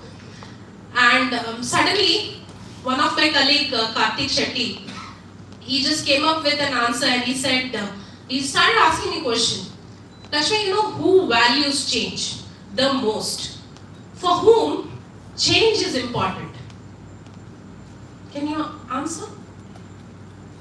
He asked me this question. Can you answer? Can you answer? Who values the change most? His answer was bus conductor. Quote unquote, Karthik Shetty, this is for you. He answered bus conductor. Now, why am I telling this PJ? Know, he said, you, you give this as an example and see how. But the response was not, maybe I am not a good, uh, you know, dramatician when I can, you know, enact and say. But he is good uh, in dramatics as such, but he would have made it look really good. But what I want to say, what I would like to end this session with saying that Change is important even for the bus conductor, company as well as to us. But change should be always attached with a good reason to change and not just because you're bored or uninterested to do that thing. You're lazy enough to do that thing and you want to change. That should not be the reason for changing. And with this, I would wish every one of you best of luck for your future. And I hope some of you will join me as my colleague at Robosoft Technologies. Thank you, everyone.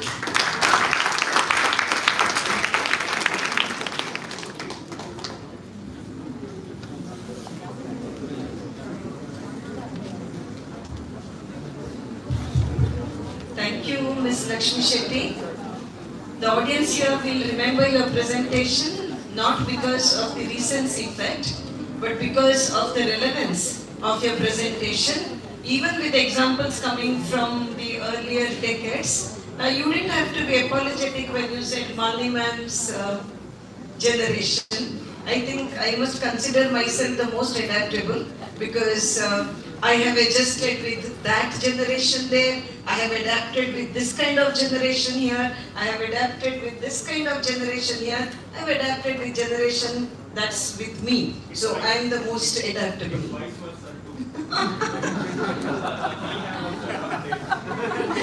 you, you had only one generation to adapt with. We had different generations. okay. All right. Yes, correct. But as you kept saying in your presentation, let me bring the discussion back to track by saying that the discussion is open to your questions. Now you may pose your question to any one of the panelists in particular, or it could be a general question. And even when the question is posed to any one of the panelists in particular, if any of the other panelists has something relevant to add on, you're welcome to do that because after all, as we have had the refrain, we are here to improve our learning curve. We are here to see that we change for the better because of the learning that we get in this particular uh, session. So the floor is open for your questions. A few of the staff members and students, please feel free to come up with your questions. Meanwhile, I think um, they need some time to get warmed up for the question answer session. I had one particular question. In fact, when you spoke about artificial intelligence and when you said that the kind of job would change, welcome to contribute. Thanks, uh, Dr. Malini. Very valid question and valid observation. Uh, the way I look at it is uh, the same fear or concern was raised when computers were invented. I'm sure all of you have read about uh, trade unions opposing getting computers to India, companies using it because they thought they lose jobs. Computer will take away all the jobs. That was back in uh, 1970s, 80s, or uh, late 1990s, right? But nothing has happened. Uh, happened to computers getting uh, used or being uh, one of the getting used or being uh, uh, one of the machine the machines for businesses to operate. Uh, it's only evolved. Right? Machines for businesses to operate. Uh, it's only evolved, right? Today, everyone uh, is wanting to be an engineer or a software programmer because the career sounds very fancy. Likewise, AI will be the option for probably many of the engineers as a career uh, stream, right? Uh, there will be a lot of new jobs that will get generated because of chat GPT kind of tools, uh, softwares which are AI driven, right? Uh, so someone with probably AI skills will be more in demand than the others who don't have. Uh, but I don't think the demand for jobs will go down uh, because it's just the way I think uh, the universe is designed, right? When there's something new, everyone clings onto it, and that becomes the next happening thing or next uh, important skill or happening skill or hot skill, whatever you want to call it. Uh, that's how I would like to look at it. Any thoughts from the other panelists? as Vikram said, true. Um, there will be at the initial phase of uh, you know any new innovation, there is always a threat, and based on that, you know there will be changes done. Yes, uh, because of ChatGPT, as I come from an IT background. In fact, everyone is a technology background person here in the panel.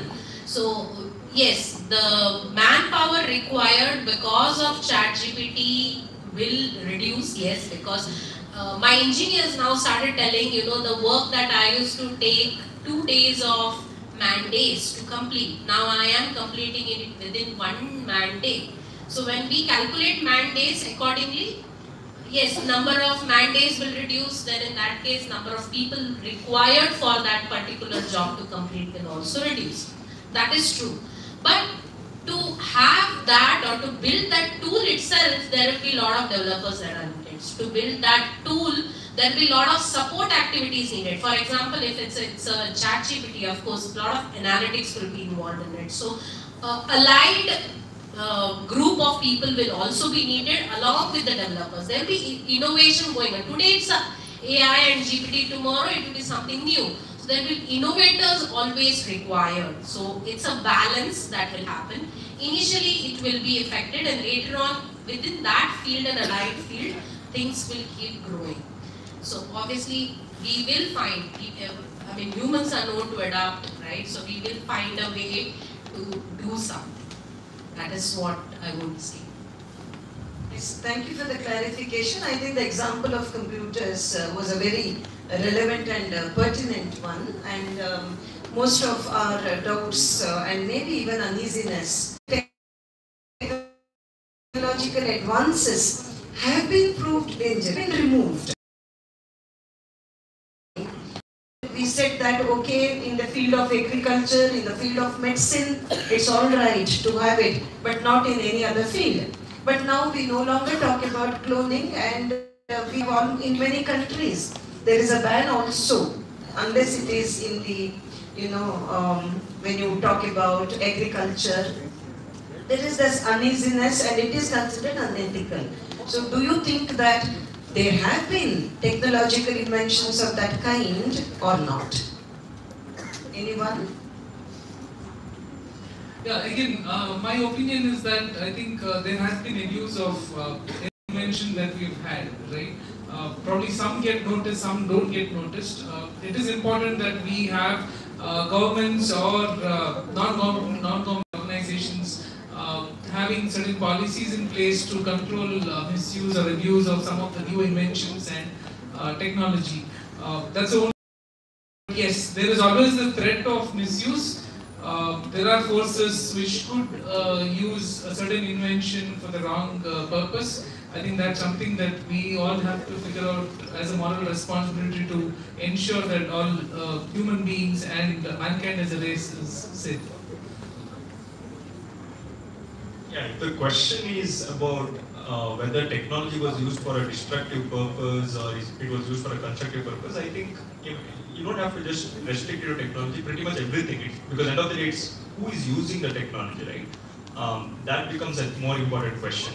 Uh, for example, you were referring to uh, cloning, but you know the actual technology was CRISPR, which eventually got banned because of you know designer babies, and they wanted to have tall, handsome, blue-eyed kids and all that.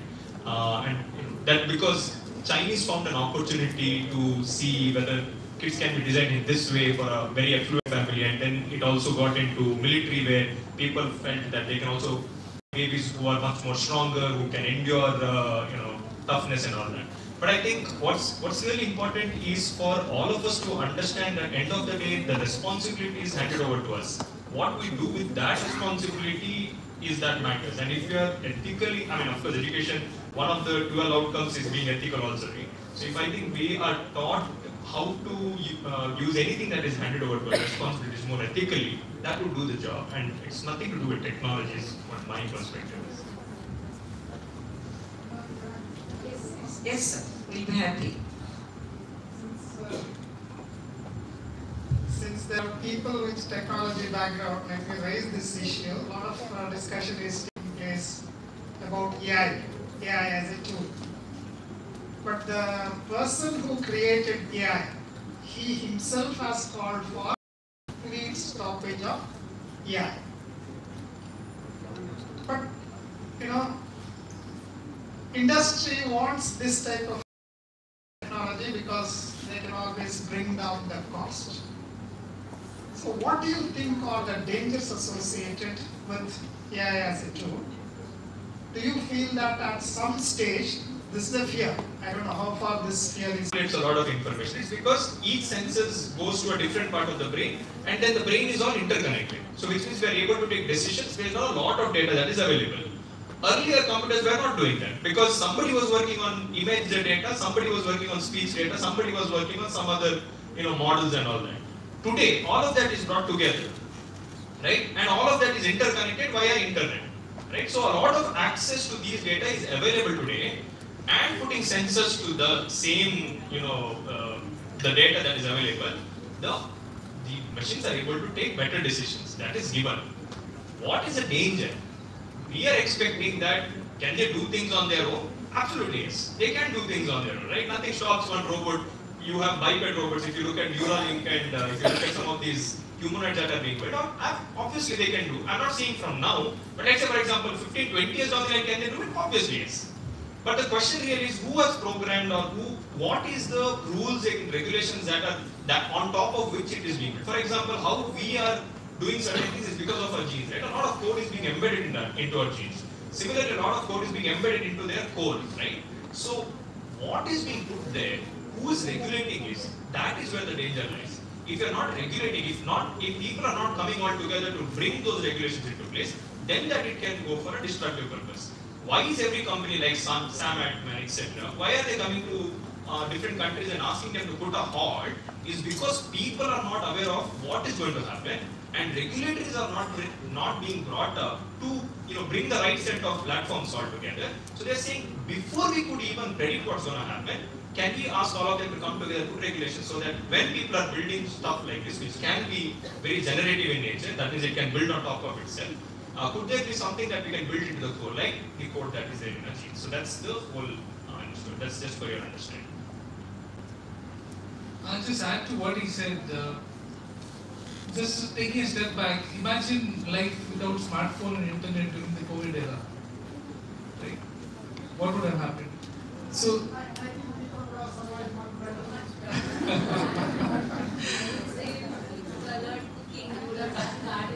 but if you didn't have YouTube, who would you learn cooking from?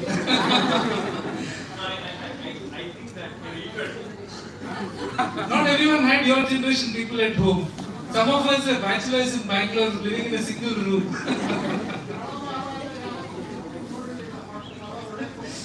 no, I, I'm just trying to relate to how technological advancements actually help us to evolve.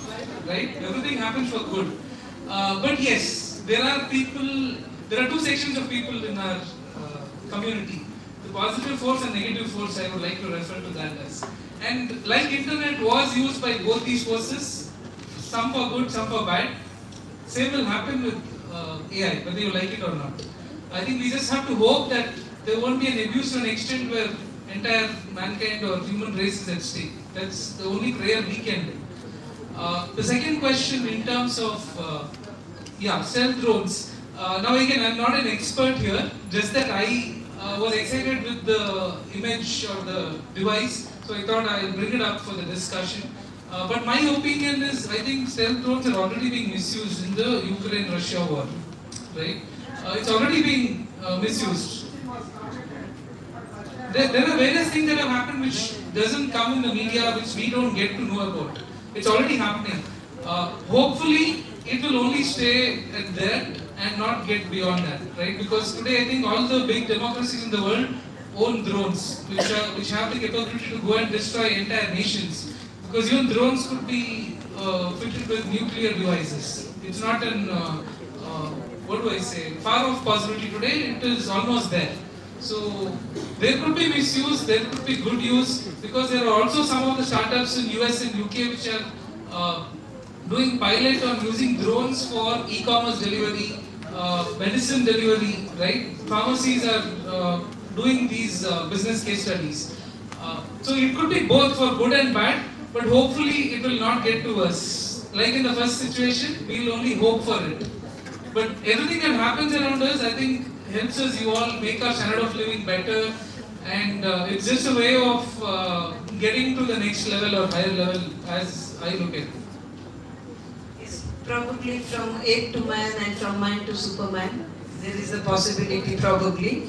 Both of you made very pertinent points and I feel that probably the world has to forget its geographical boundaries and come together as a conglomeration, as a conglomerate to discuss these points to see what is the best for mankind or for that matter if I'm a feminist I'll say womankind.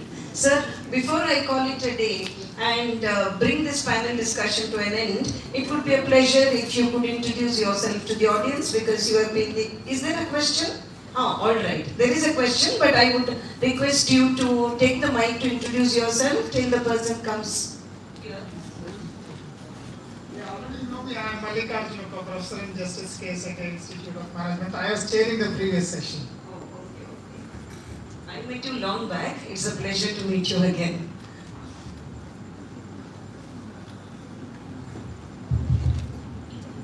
Uh, Good afternoon. ma'am. My my name is Chetan, studying first year MBA. So I just had to ask one question here. So if you take traditional kind of approach, five laws were there. Five laws. So after that it came a computer-based approach. After that, artificial intelligence ruled. So 10, year, 10 years down the line, what is going to be the next big thing that is going to rule over all the market? If anybody tells me, I invest.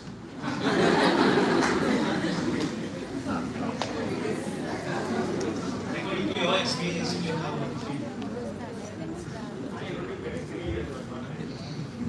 five years down.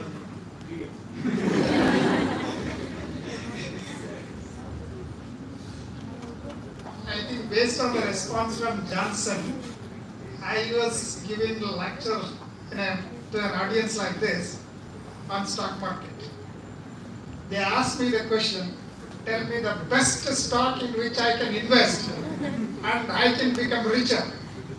Then my response was, if I had known the answer for that question, I would not be lecturing here. I would be investing and becoming ri- richer there. Right? That was my Yes, uh, honestly, we don't have an answer because none of us here are equipped with AI to predict the future, right? But we can only guess based on the past trends. We can only probably do some modeling or prediction, right? Honestly, we don't have an answer, but definitely I think it will be a completely AI-driven world 10 years down the line. I don't know if I'm wrong, Johnson. Please feel free to add. Okay, so let's understand certain things before you predict. And it's it's nice to predict. I mean, it won't cost you anything, right? So, what if you're looking from Indian context? You just look into what are some of the macro trends that are happening, right? We, we became the most populous country. Great, right? So, which also means we need food. So, there is a lot of innovation that's going to come into food because we have to feed people we are collectively growing as a large uh, uh, you know population collectively but the resources that were there were limited right? Water was limited. So you will have geopolitics issue right? Either china is going to russia to get the water from baikal lake or it is going to tag along with india to get water from brahmaputra correct? So each, either of these cases are supposed to be there. So that means you will have a lot of issues with water. Mangalore is supposed to go give water to whom? I'm not saying right? So which basically means we'll also have some issues. Our water might become saline, right? So a lot of innovations are going to come here. You don't have to go find what is going to happen in AI and all that. You can find out what are some macro trends that are happening. So therefore, what are some of the things that we need to do? For example, if you look the top two countries in China, they're, they're what are they based out of? Supplying water. Because that's a big issue. In India, luckily, some of these issues are not there, right? But if you look at the reserves that are available, what are some of the trends that are happening? Grains were taking we are much into wheat and uh, you know rice paddy so what did change? That much water was not available. So we changed our lifestyle to millets right? So millets became a big trend. So if you were to predict a little earlier if you had gotten into cooperatives of millet you would have made a lot of money right? So look at it in this way. Don't ask for what are one of the sectors that are going to come up. Of course everybody will talk about AI but AI is for western countries because people are expensive there. In India, people, if you expect, oh, Elon Musk will bring Tesla, have he come? Has he come? Why has he not come? Because, are you recording this? Don't tweet it to Elon Musk. has he come? He has not come. Why has he not come? Because India is not the market. Because you are getting drivers cheap here. In US, it is very expensive. So it would they would rather, and Uber wanted to get uh, into autonomous because it, they would rather get that car. Make sense? If you look at India, there are enough young people who are willing to drive.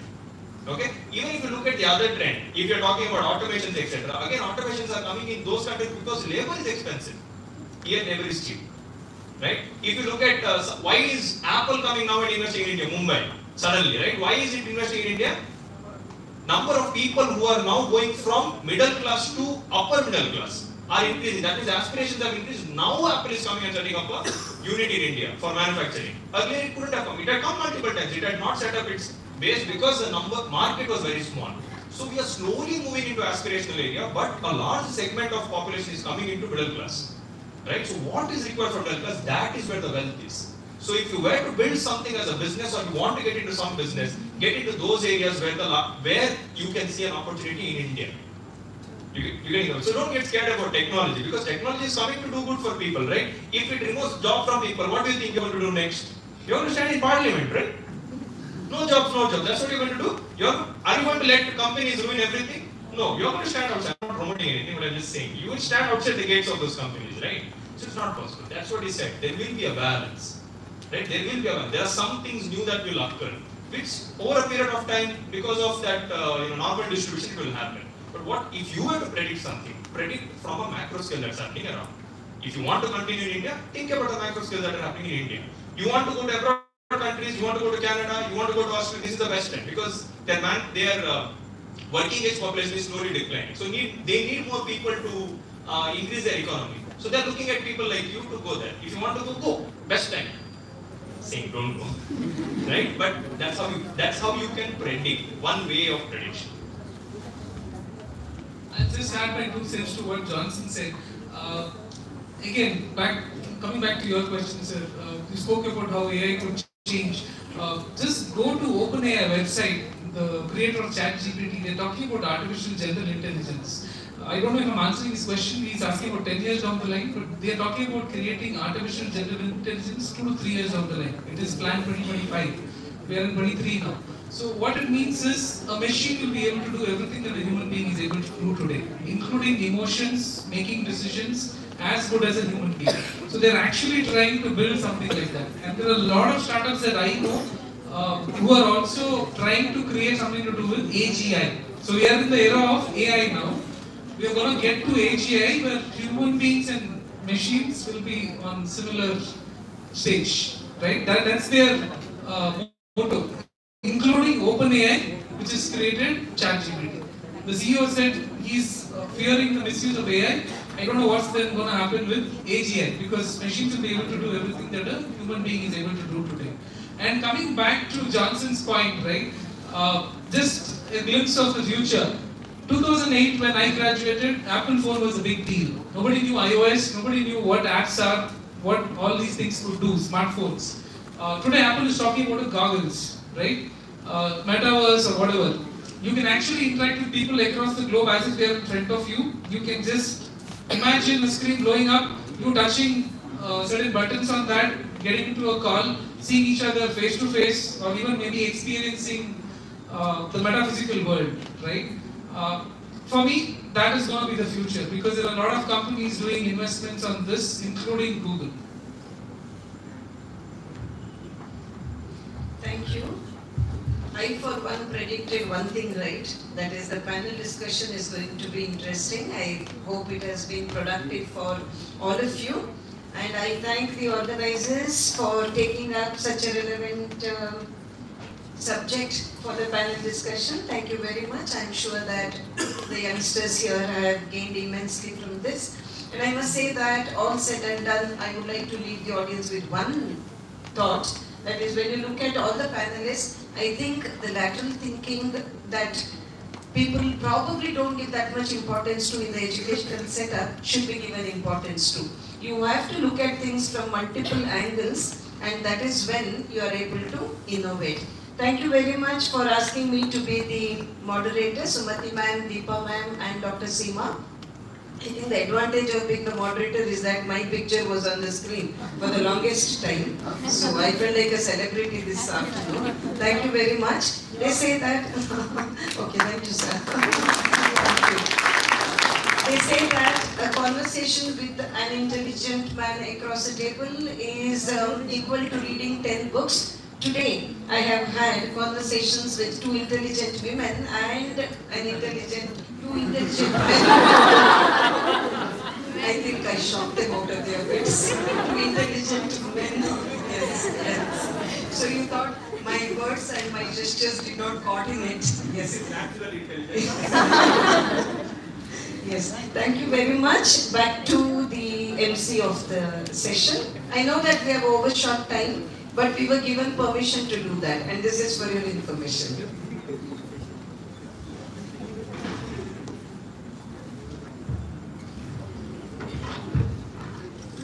As we come to the end of this explicative session, I take this opportunity to deliver the vote of thanks. Thankfulness is the beginning of gratitude. Gratitude is the completion of thankfulness. First and foremost, I would like to extend my heartfelt gratitude to Mr. Johnson Tellis, CEO and co-founder of InUnity, InUnity LLP Bangalore. I request Mrs. Sumati ma'am to hand over the citation to sir.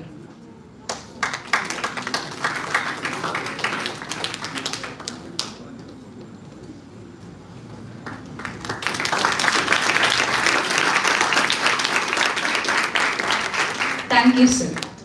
I take immense pleasure in extending my sincere thanks to Mr. Vikram Vasudev Pujari, Lead University Hiring and Relations, Brane Enterprises, Bangalore. I request Mrs. Sumati Ma'am to hand over the citation to sir.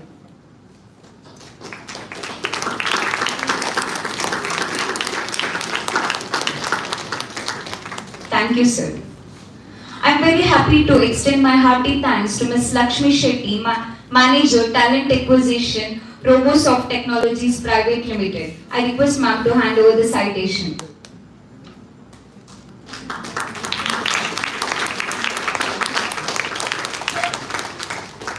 Thank you, ma'am. My words of heartfelt gratitude to Dr. Malini Hebbar, Principal, Swastika College. I request ma'am to hand over the citation.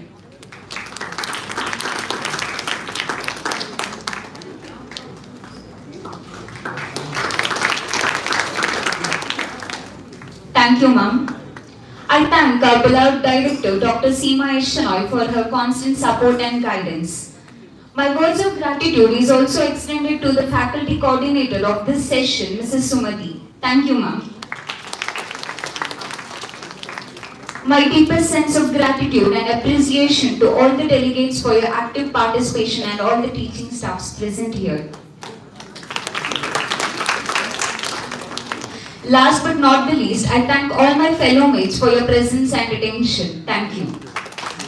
Once again, I thank you all for your cooperation in making this session a resounding success. Thank you all. Tea is served in the basement. Quickly have it and assemble back in the conference hall at 4.15 pm for the valedictory.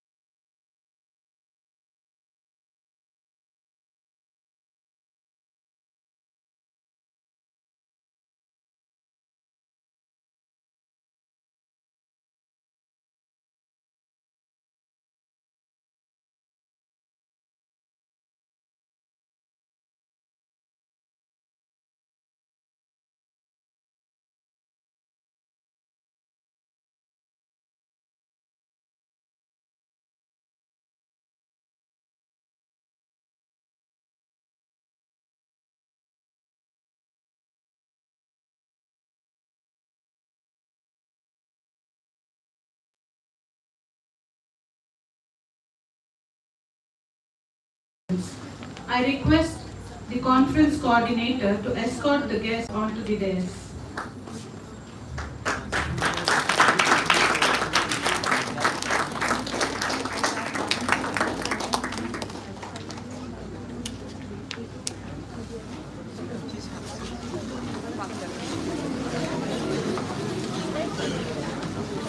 Every event is an experience. The external fades away and the internal lingers in the depth of our heart. A very good evening to the dignitaries, invited guests and delegates. I am Dr. Pramila Shetty, faculty at the Institute. It is a matter of immense pride to stand before you all this evening. You all have witnessed the day-long deliberations of the conference.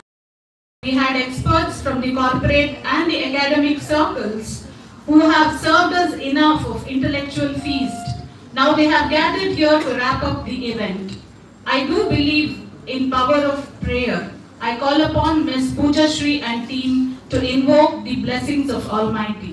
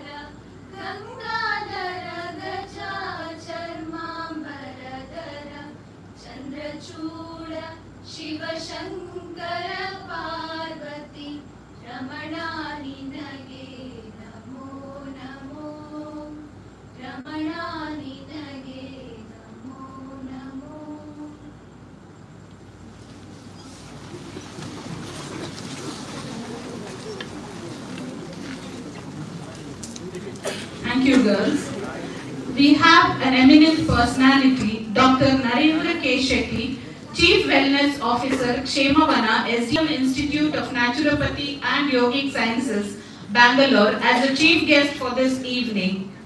With him, we have Mr. Vijay Pai, Managing Partner, Pai Sales Hassan, as our alumnus guest. I request Ms. Sumati, faculty at the Institute, to give a red carpet welcome to the guests and the gathering.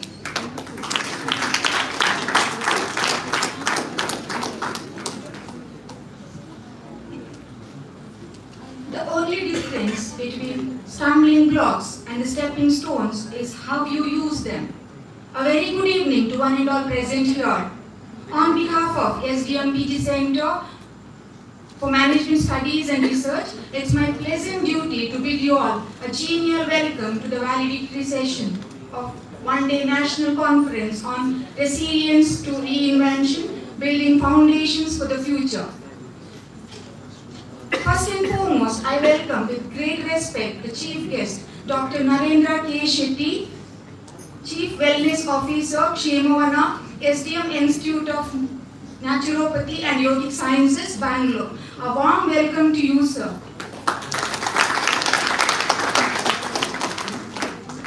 A warm word of welcome also goes to Mr. Vijay Pai, proud alumnus of our institute and managing director at Pai Sales, Hassan, who is with us today. Welcome, Mr. Vijay Pai. I extend a hearty welcome to the director of our institute, Dr. Seema. Chennai, who has been the strong pillar in hosting the national conference successfully. Welcome to you, madam. Mrs. Deepa Naik and her team of students, Ms. Agni Alva and Ms. Sushma, have put their hard work in making this conference a great success. An appreciable welcome to you all three.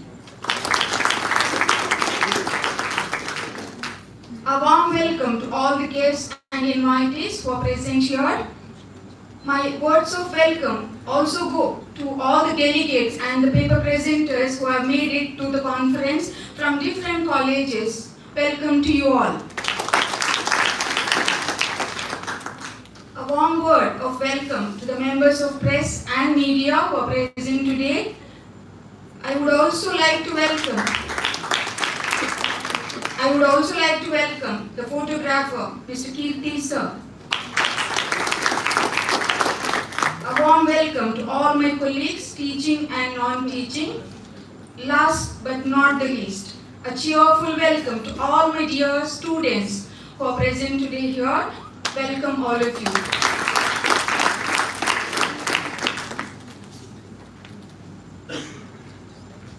Nothing great will be achieved without great men. And men are only great if they are determined. We have one such personality, Dr. Narendra K. Shetty, as the chief guest today. I request the student coordinator, Ms. Sushma, to introduce the honorable chief guest to the gathering.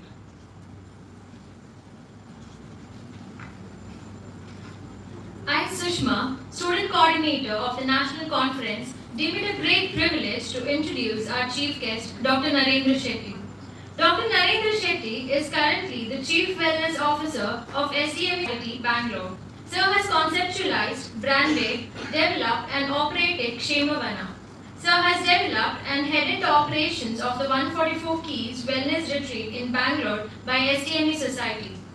As the Vice President, Sir has driven the ground spa operation and international spa operation with implementation of the marketing and promotional plans quality control, revenue management along with training and developmental plan at SDME Society and Soham Wellness Limited, Bangalore from October 2013 to November 2021. He was also a spa consultant at EMTA Group, Kolkata from January 2012 to October 2013. Sir was also the spa and fitness manager at Jiva Spa and Fitness Center, the Taj Mahal Palace and Tower, Mumbai from April 2003 to March 2004. He has done his postgraduate diploma in beauty therapy, Zurich, Switzerland. He did diploma in advanced spa technique, New Delhi, India. Diploma in Science of Chakra Energy Therapy, New Delhi. Bachelor of Naturopathy and Yogic Science, Bangalore University. With this brief introduction, I welcome our chief guest, Dr. Narendra Shetty.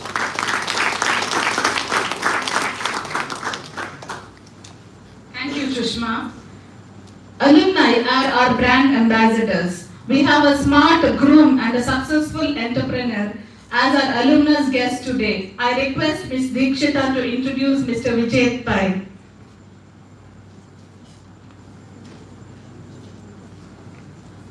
I, Dikshita, of 2nd MBA, deem it a great privilege to introduce our alumni chief guest, Mr. V. Vijay Pai, son of S. Venkatraman Pai and Padmavati Pai.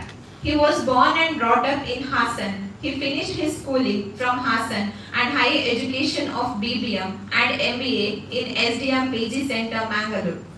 He is having an experience in work field such as HR consultant in Bluestone Consultancies.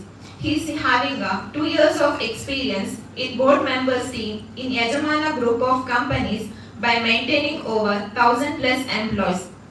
Sir is a partner of Malnad Information System, Hassan and Mysore. From there, he is developing his own business as managing director of Pai Sales, Hassan at this young age, which is now a renowned brand across area, both offline and online for silk sarees and more. With this brief introduction, I present before you Mr. V. Vijay Pai. Once again, welcome.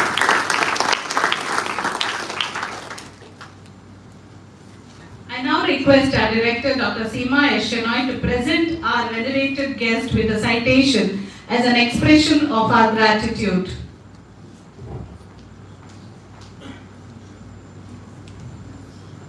I request Dr. Joman Donappan to hand over a memento to the guest, Dr. Narendra Shetty.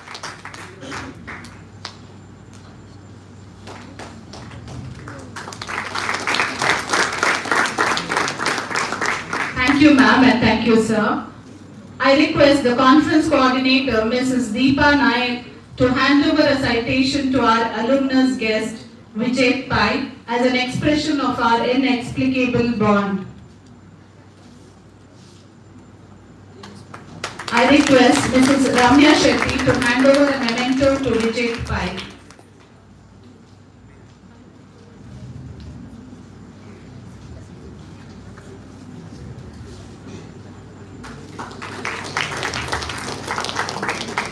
Thank you, Deepa ma'am and Ramya ma'am. We had an intellectual feat this entire day. I request the conference coordinator, Deepa Naik, to brief us about the day's deliberations. So, over to you, ma'am.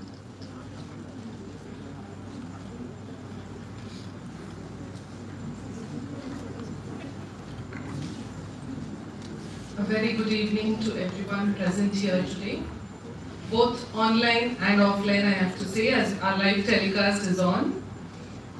It is indeed a great privilege to stand before all of you to read out the report of the entire day.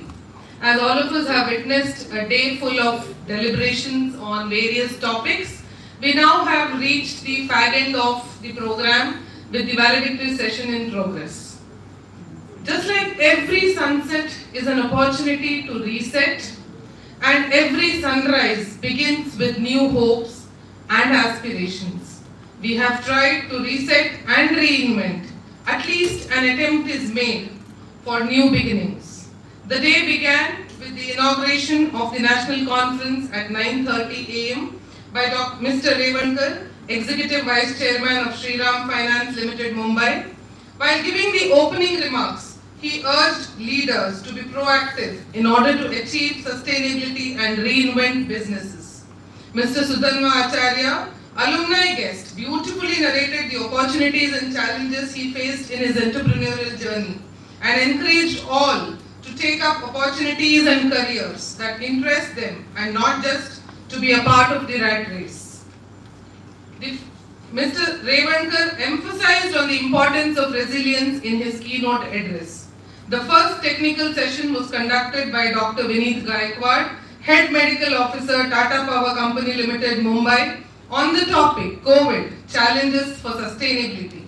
He addressed the changing scenario of businesses after the pandemic and encouraged students to think out of the box and develop skill sets that will help them to achieve their dreams. This session was chaired by Mr. M. Shekhar Pujari, who wisely moderated the session and emphasized on the industry-academia linkage. The second technical session started at 12 noon by Dr. Vineet Singh Chauhan, Associate Professor, Finance and Accounting, IIM Lucknow. He spoke on this topic, strategic developments in the business arena. This session was chaired by Dr. T. Mallikarjunappa, Professor at Nitte Deemed to be University, who enthralled everyone with his in-depth knowledge and expertise. Now we come to the most important part, the post-lunch session. As always, we had a lot of queries on what the post-lunch session would be. To make a small change, a new beginning, we thought of a panel discussion.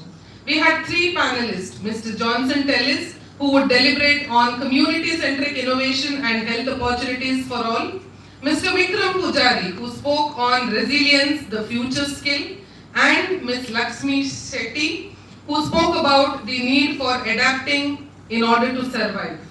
All three panelists did more than justice to the topics chosen by them, and Dr. Malini Hebbar did a fabulous job in her role as the moderator.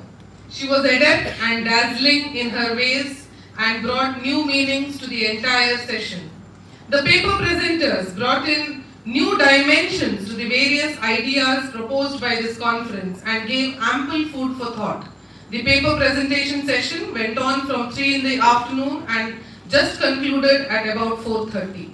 I now stand before all of you in the valedictory session with Dr. Narendra K. Shetty and Mr. Vijay Pai amongst us here. I, I am very sure of the fact that each participant, each delegate, each individual who was present throughout this day is going to take home a lot of thought processing and a lot of information. Happy learning to each one of you. Thank you very much.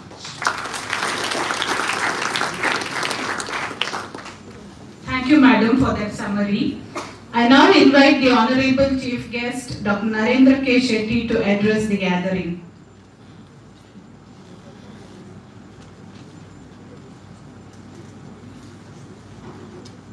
Om Shri Manjunathaya Nama.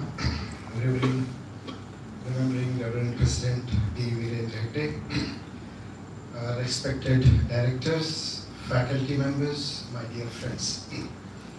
I take this opportunity, thank you, the management and the team, for giving me this opportunity to uh, speak about in the management. And I come from a medical background, studied uh, naturopathy and yoga, but it was always my interest was to focus more on the sales and marketing. That's what we say that the medical students should equip themselves with certain amount of the education where everybody is going to become an entrepreneur one day. You know, we may start with some company to work, but you will be an entrepreneur for yourself.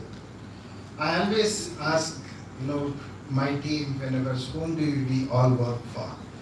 People will go out, give a lot of stories, I work for whom, work for whom. So let us realize we all work for ourselves.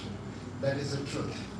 So we say that anything we do, it is all going to some way able to help us in developing our own career over a period of time. We study in the college basically gives a foundation for your future.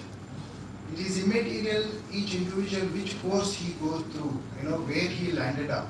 It is, you, you can see that, you know, many of the times there is a complete disconnect. The most reason is it is the our passion, it is our commitment and our dedication which we go into that. We, uh, I will just quickly take you through my journey with uh, Kshemavana over a period of uh, last two years. SDM Institute already having the two uh, branches already been operational, one where I graduated from, it was almost like 35 years old. The Manipal, the Parika one is almost the 12 years old. So Kshemavana was a new kid on the block. The president wanted a new approach, new treatment protocol, a new perspective into the wellness. Most of these two projects currently be in operation, they are successful. There is nothing wrong in that, that they are not doing well. But only thing is, Egreji says, let us bring a new perspective into the naturopathy and yoga by bringing the science. So what we say that, you know, most of our treatments are all more into the traditional approach. We see there is a lot of traditional system practiced in the West as well as the East. So is it required to we work in an isolation or we embrace the best of the knowledge what we have? So what we talk about today is the integrated medicine. So you take the best out of it. No medical system is complete by itself. So what we require is you need to see that somehow you bring the all systems together. Now when we looked at the wellness industry, the wellness industry has gone through a lot of transformation over a period of time. We used to be a service industry. People were used to be get satisfied with the services which we give. You know, it may be a hydrotherapy, it is a yoga session, which is which has become uh, any a massage or any of the treatments. Later, it became an experience industry. People started looking at how do we see that it as an experience. Your light, your linen, your area, the uniform, the interiors, these are all becomes an essential part of it. So now we are basically we are we call it as an transformation industry. Today, people pay for the benefit they carry home. So that is what we call it as we are moving from an agrarian economy to an experience economy. So this is plays a very, very, very important role when we are engaging, engaging the customer with a meaningful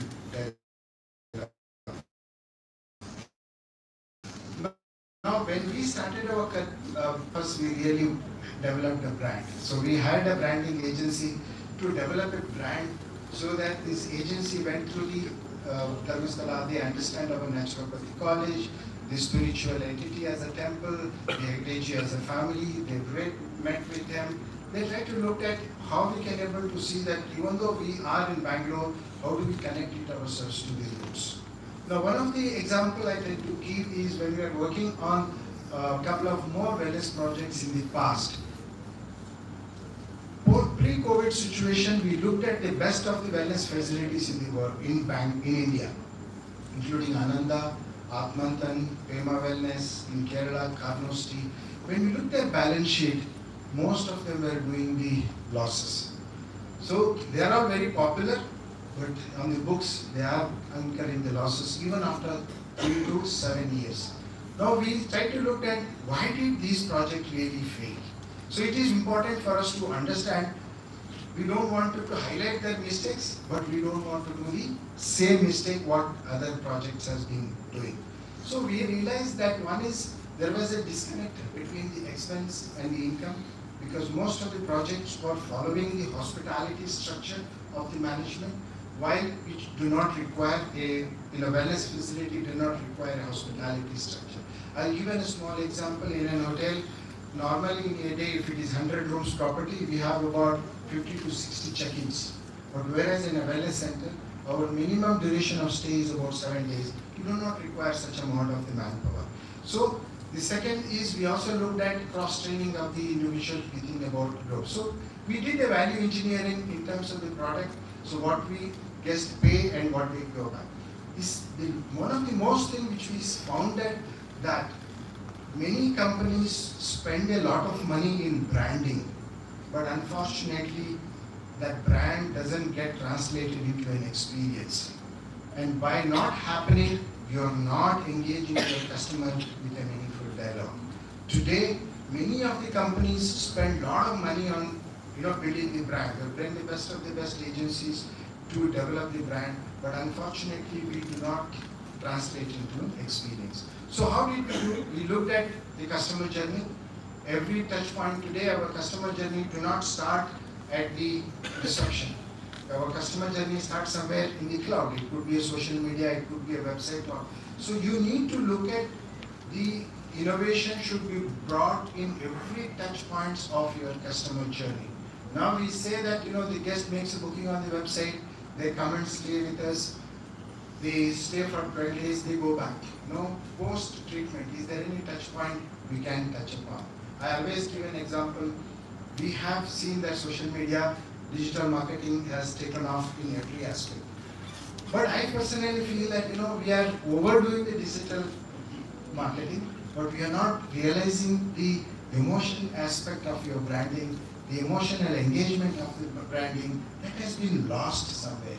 So if you can able to see that during the course of our customer journey, how do you engage the customer with meaningful dialogue? Now again, I'm coming back to the branding. When we said that Shimona as a brand, how do we translate into an experience? We worked out on the positioning of the product. So what most of the hospitals do is they give only the uh, treatments, products. So we looked at not only offer the curative, we worked on the our product. We have a curative, we have preventive, we have as well as a retreat, which is going to be a new product which none of the wellness centers are offering in the India. Moving ahead with uh, when we completed our branding exercises, we see that you know how do we look at positioning each and every aspect in Kshemavana. We start with balancing of our inner energy. So that is how we are able to translate that branding into an experience. Today, what we see that most of the customers they give a fantastic feedback, not because of anything. I think the training and development is a key. We think that moment you come out of the college, you have finished your course, does your education ends? No. I'm, I've completed my course for 28 years. I'm operating, but I still, every day I spend one hour in learning. So I look at different books today. There are a lot of literatures that's written by the uh, different uh, writers over a period of time to see that education is ongoing. You know, we don't need to stop somewhere.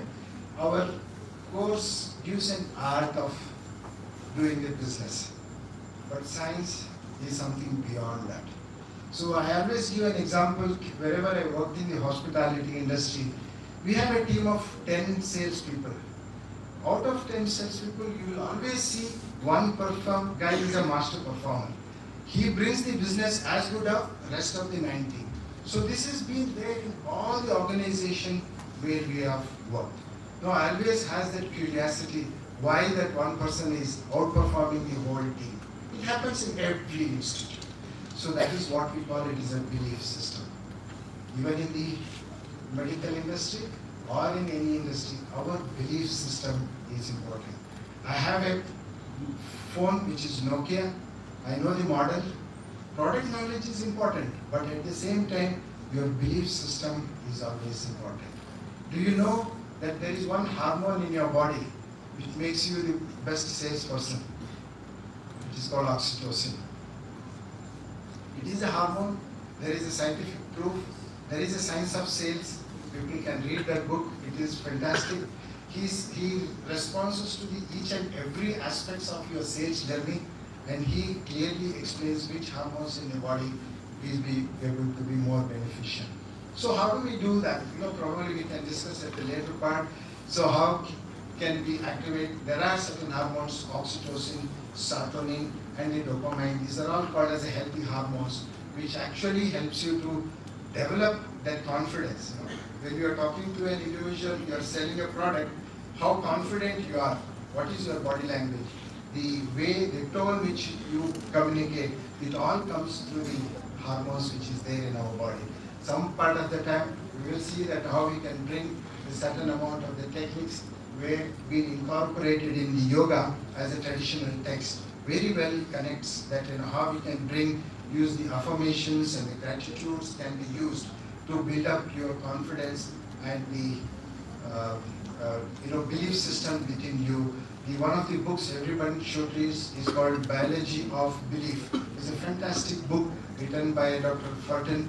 It gives a fantastic reason, you know, why, how these belief system can be brought in. If you have a belief in yourself, you will be the successful person in this industry. I, by saying that, I take this opportunity once again, thank you all, and thank you.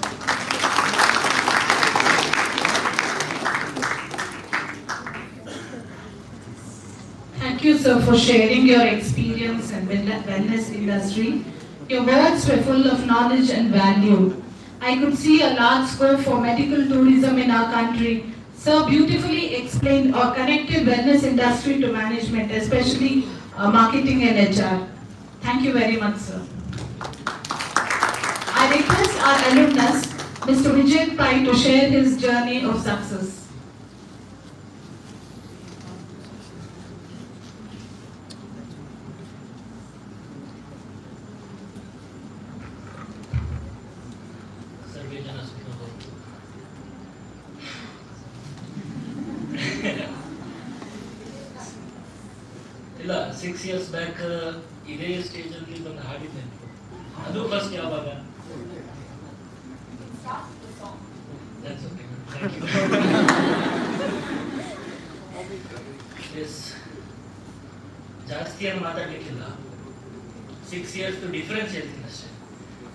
Back two thousand sixteen something ಅಲ್ಲಿ first time ಬಂದಾಗ ನಿಮ್ಮ ಕಣ್ಣುಗಳಲ್ಲಿ ನಾವು ಈ ಕಡೆ ಇರೋ ಟೀಚರ್ಸ್ಗಳನ್ನು ನೋಡ್ತಾ ಇದ್ದೀವಿ but ಅದೇ ಸಿಕ್ಸ್ ಇಯರ್ಸ್ ಆದ್ಮೇಲೆ ಈ ಕಡೆ ಇರೋ ನಾಲ್ಕು ಕಣ್ಣಲ್ಲಿ ನಿಮ್ಮ ನೋಡ್ತಾ ಇದ್ದೀವಿ ಡಿಫ್ರೆನ್ಸ್ ಏನಾಗುತ್ತೆ ಅಂತ ಹೇಳಿದ್ರೆ ನೀವು ನಿಮ್ಮ ಲೈಫ್ ಸ್ಟೈಲ್ ಲೈಫ್ ಅನ್ನ ತಗೊಂಡು ಹೋಗೋ ರೀತಿ. ಮೇನ್ ಆಗಿ ಸಕ್ಸಸ್ ಬೇಕು ಅಂತ ಹೇಳಿದ್ರೆ ನಿಮ್ಮ ಲೈಫಲ್ಲಿ ಒಂದು ಪಿ ಎಚ್ ಡಿ ಇರಬೇಕು.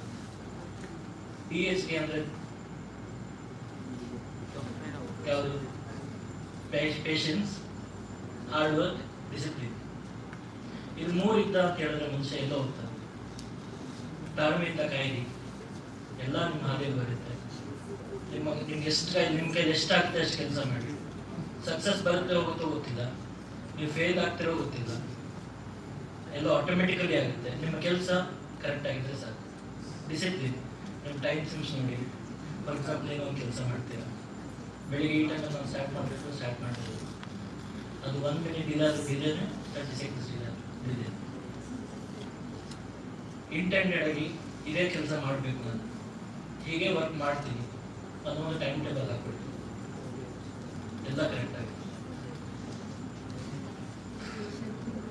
ಅಷ್ಟೇ ಈಗೇನು ಹೇಳೋದು ನಾನು ಫಸ್ಟ್ ಬಂದು ನೋಡಿದಾಗ ನಾಲ್ಕು ನಿಮಿಷ ಮಾತಾಡಬೇಕು ಅಂತ. ಈಗ ನಾನು ಟೈಮ್ ಕೌಂಟ್ ಮಾಡ್ತಾ ಇದ್ದೀನಿ. ಎರಡು ನಿಮಿಷ ಆಯ್ತು? ಮೂರು ನಿಮಿಷ ಆಯ್ತು?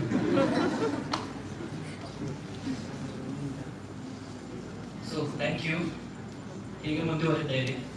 ಒಂದಲ್ಲ ಒಂದಿನ ನೀವು ಕೂಡ ಈ ಕಡೆ ಸೇರಲು ಬಂದ್ಕೊಳ್ಳೋ ಥರ ಆಗಲಿ.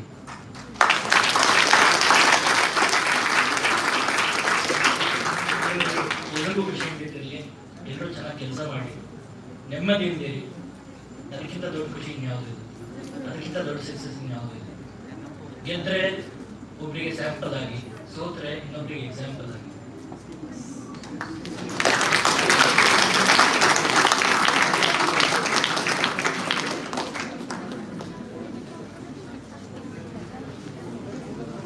Thank you, Vijay, for that love you expressed towards your alma mater and wishing your uh, juniors. We believe in continuous improvement. So feedback of the participants is very valuable for our quality enhancement.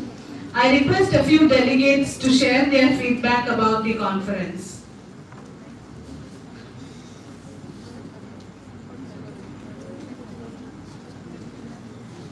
Any participants here? Paper presenters?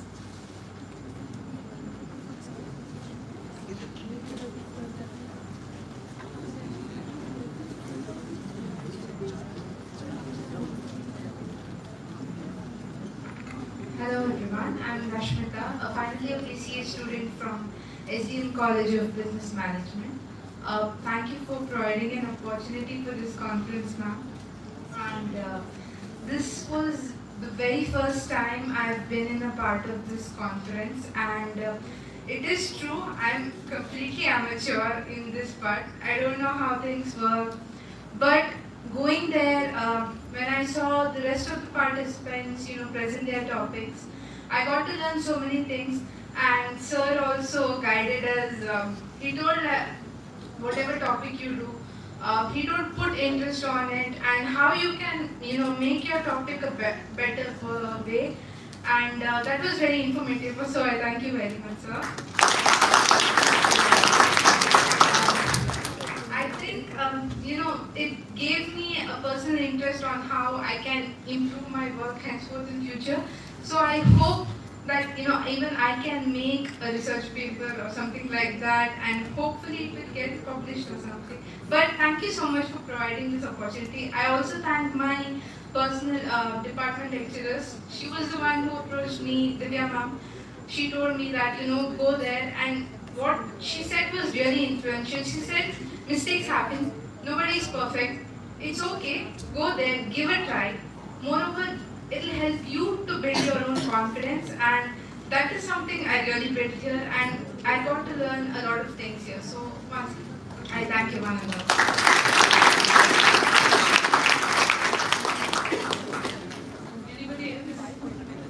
There was a feedback form in the conference kit. I request all the participants to fill it and submit in the registration desk later while collecting the certificates. Uniqueness of our conference is the Sensex contest. I request Mr. Don Prakash sir to take over to announce the result.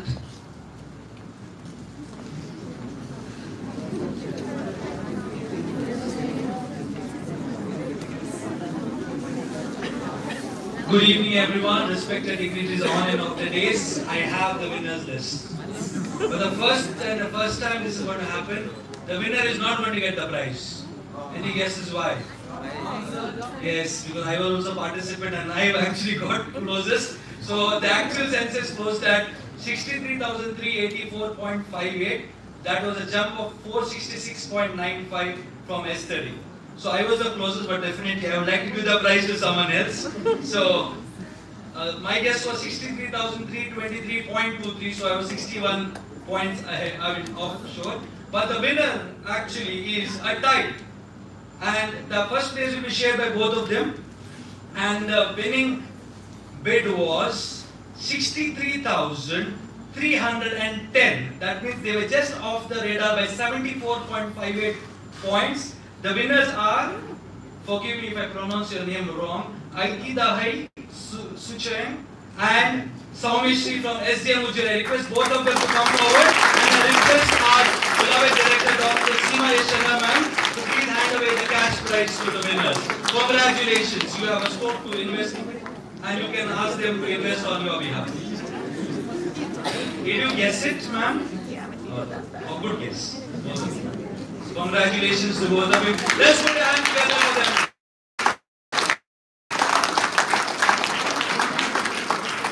For the ones who are wondering what this contest is all about, especially STM students, we generally have this census contest on a Friday of a conference where the previous day closing Sensex, that is Thursday, it was 63,000 uh, around uh, 62,900 approximately. So the participants in the morning when they register, they have to get guess as to what could be the closing Sensex. The ones who come closest, either plus or minus, closest to that particular number, will be getting the prize. So congratulations once again, and thank you so much. Congratulations to the winners. Paper presenters are an important part of our conference. To value their contribution, we have decided to honor the best paper presenters. I call upon Mr. Prashant Kumar, faculty at the Institute, to announce the awards.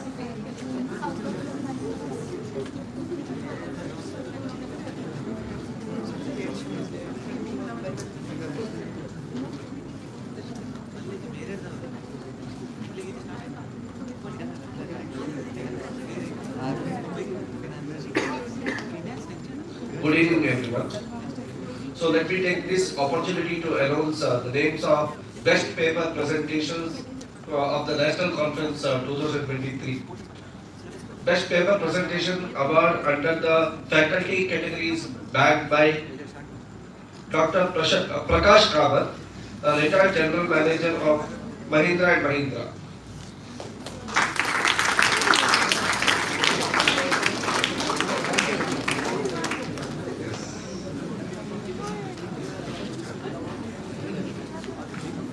Paper Presentation Award uh, for the student category is backed by Anushri Shetty, um, Madel Srinivas Nayak, uh, Institute of Management, Bombay.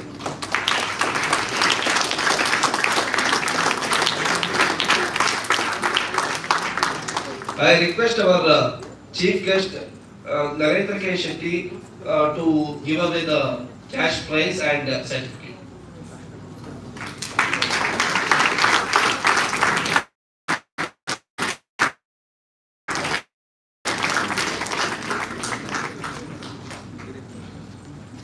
Congratulations to the winner.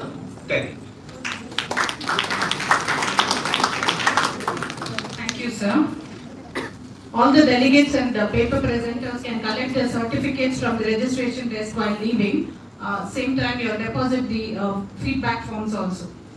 We are reminded that events like this one are milestones on the journey of life. As we come to the close of our valedictory ceremony, I invite the student coordinator, Atmi Alva, to propose the vote of thanks.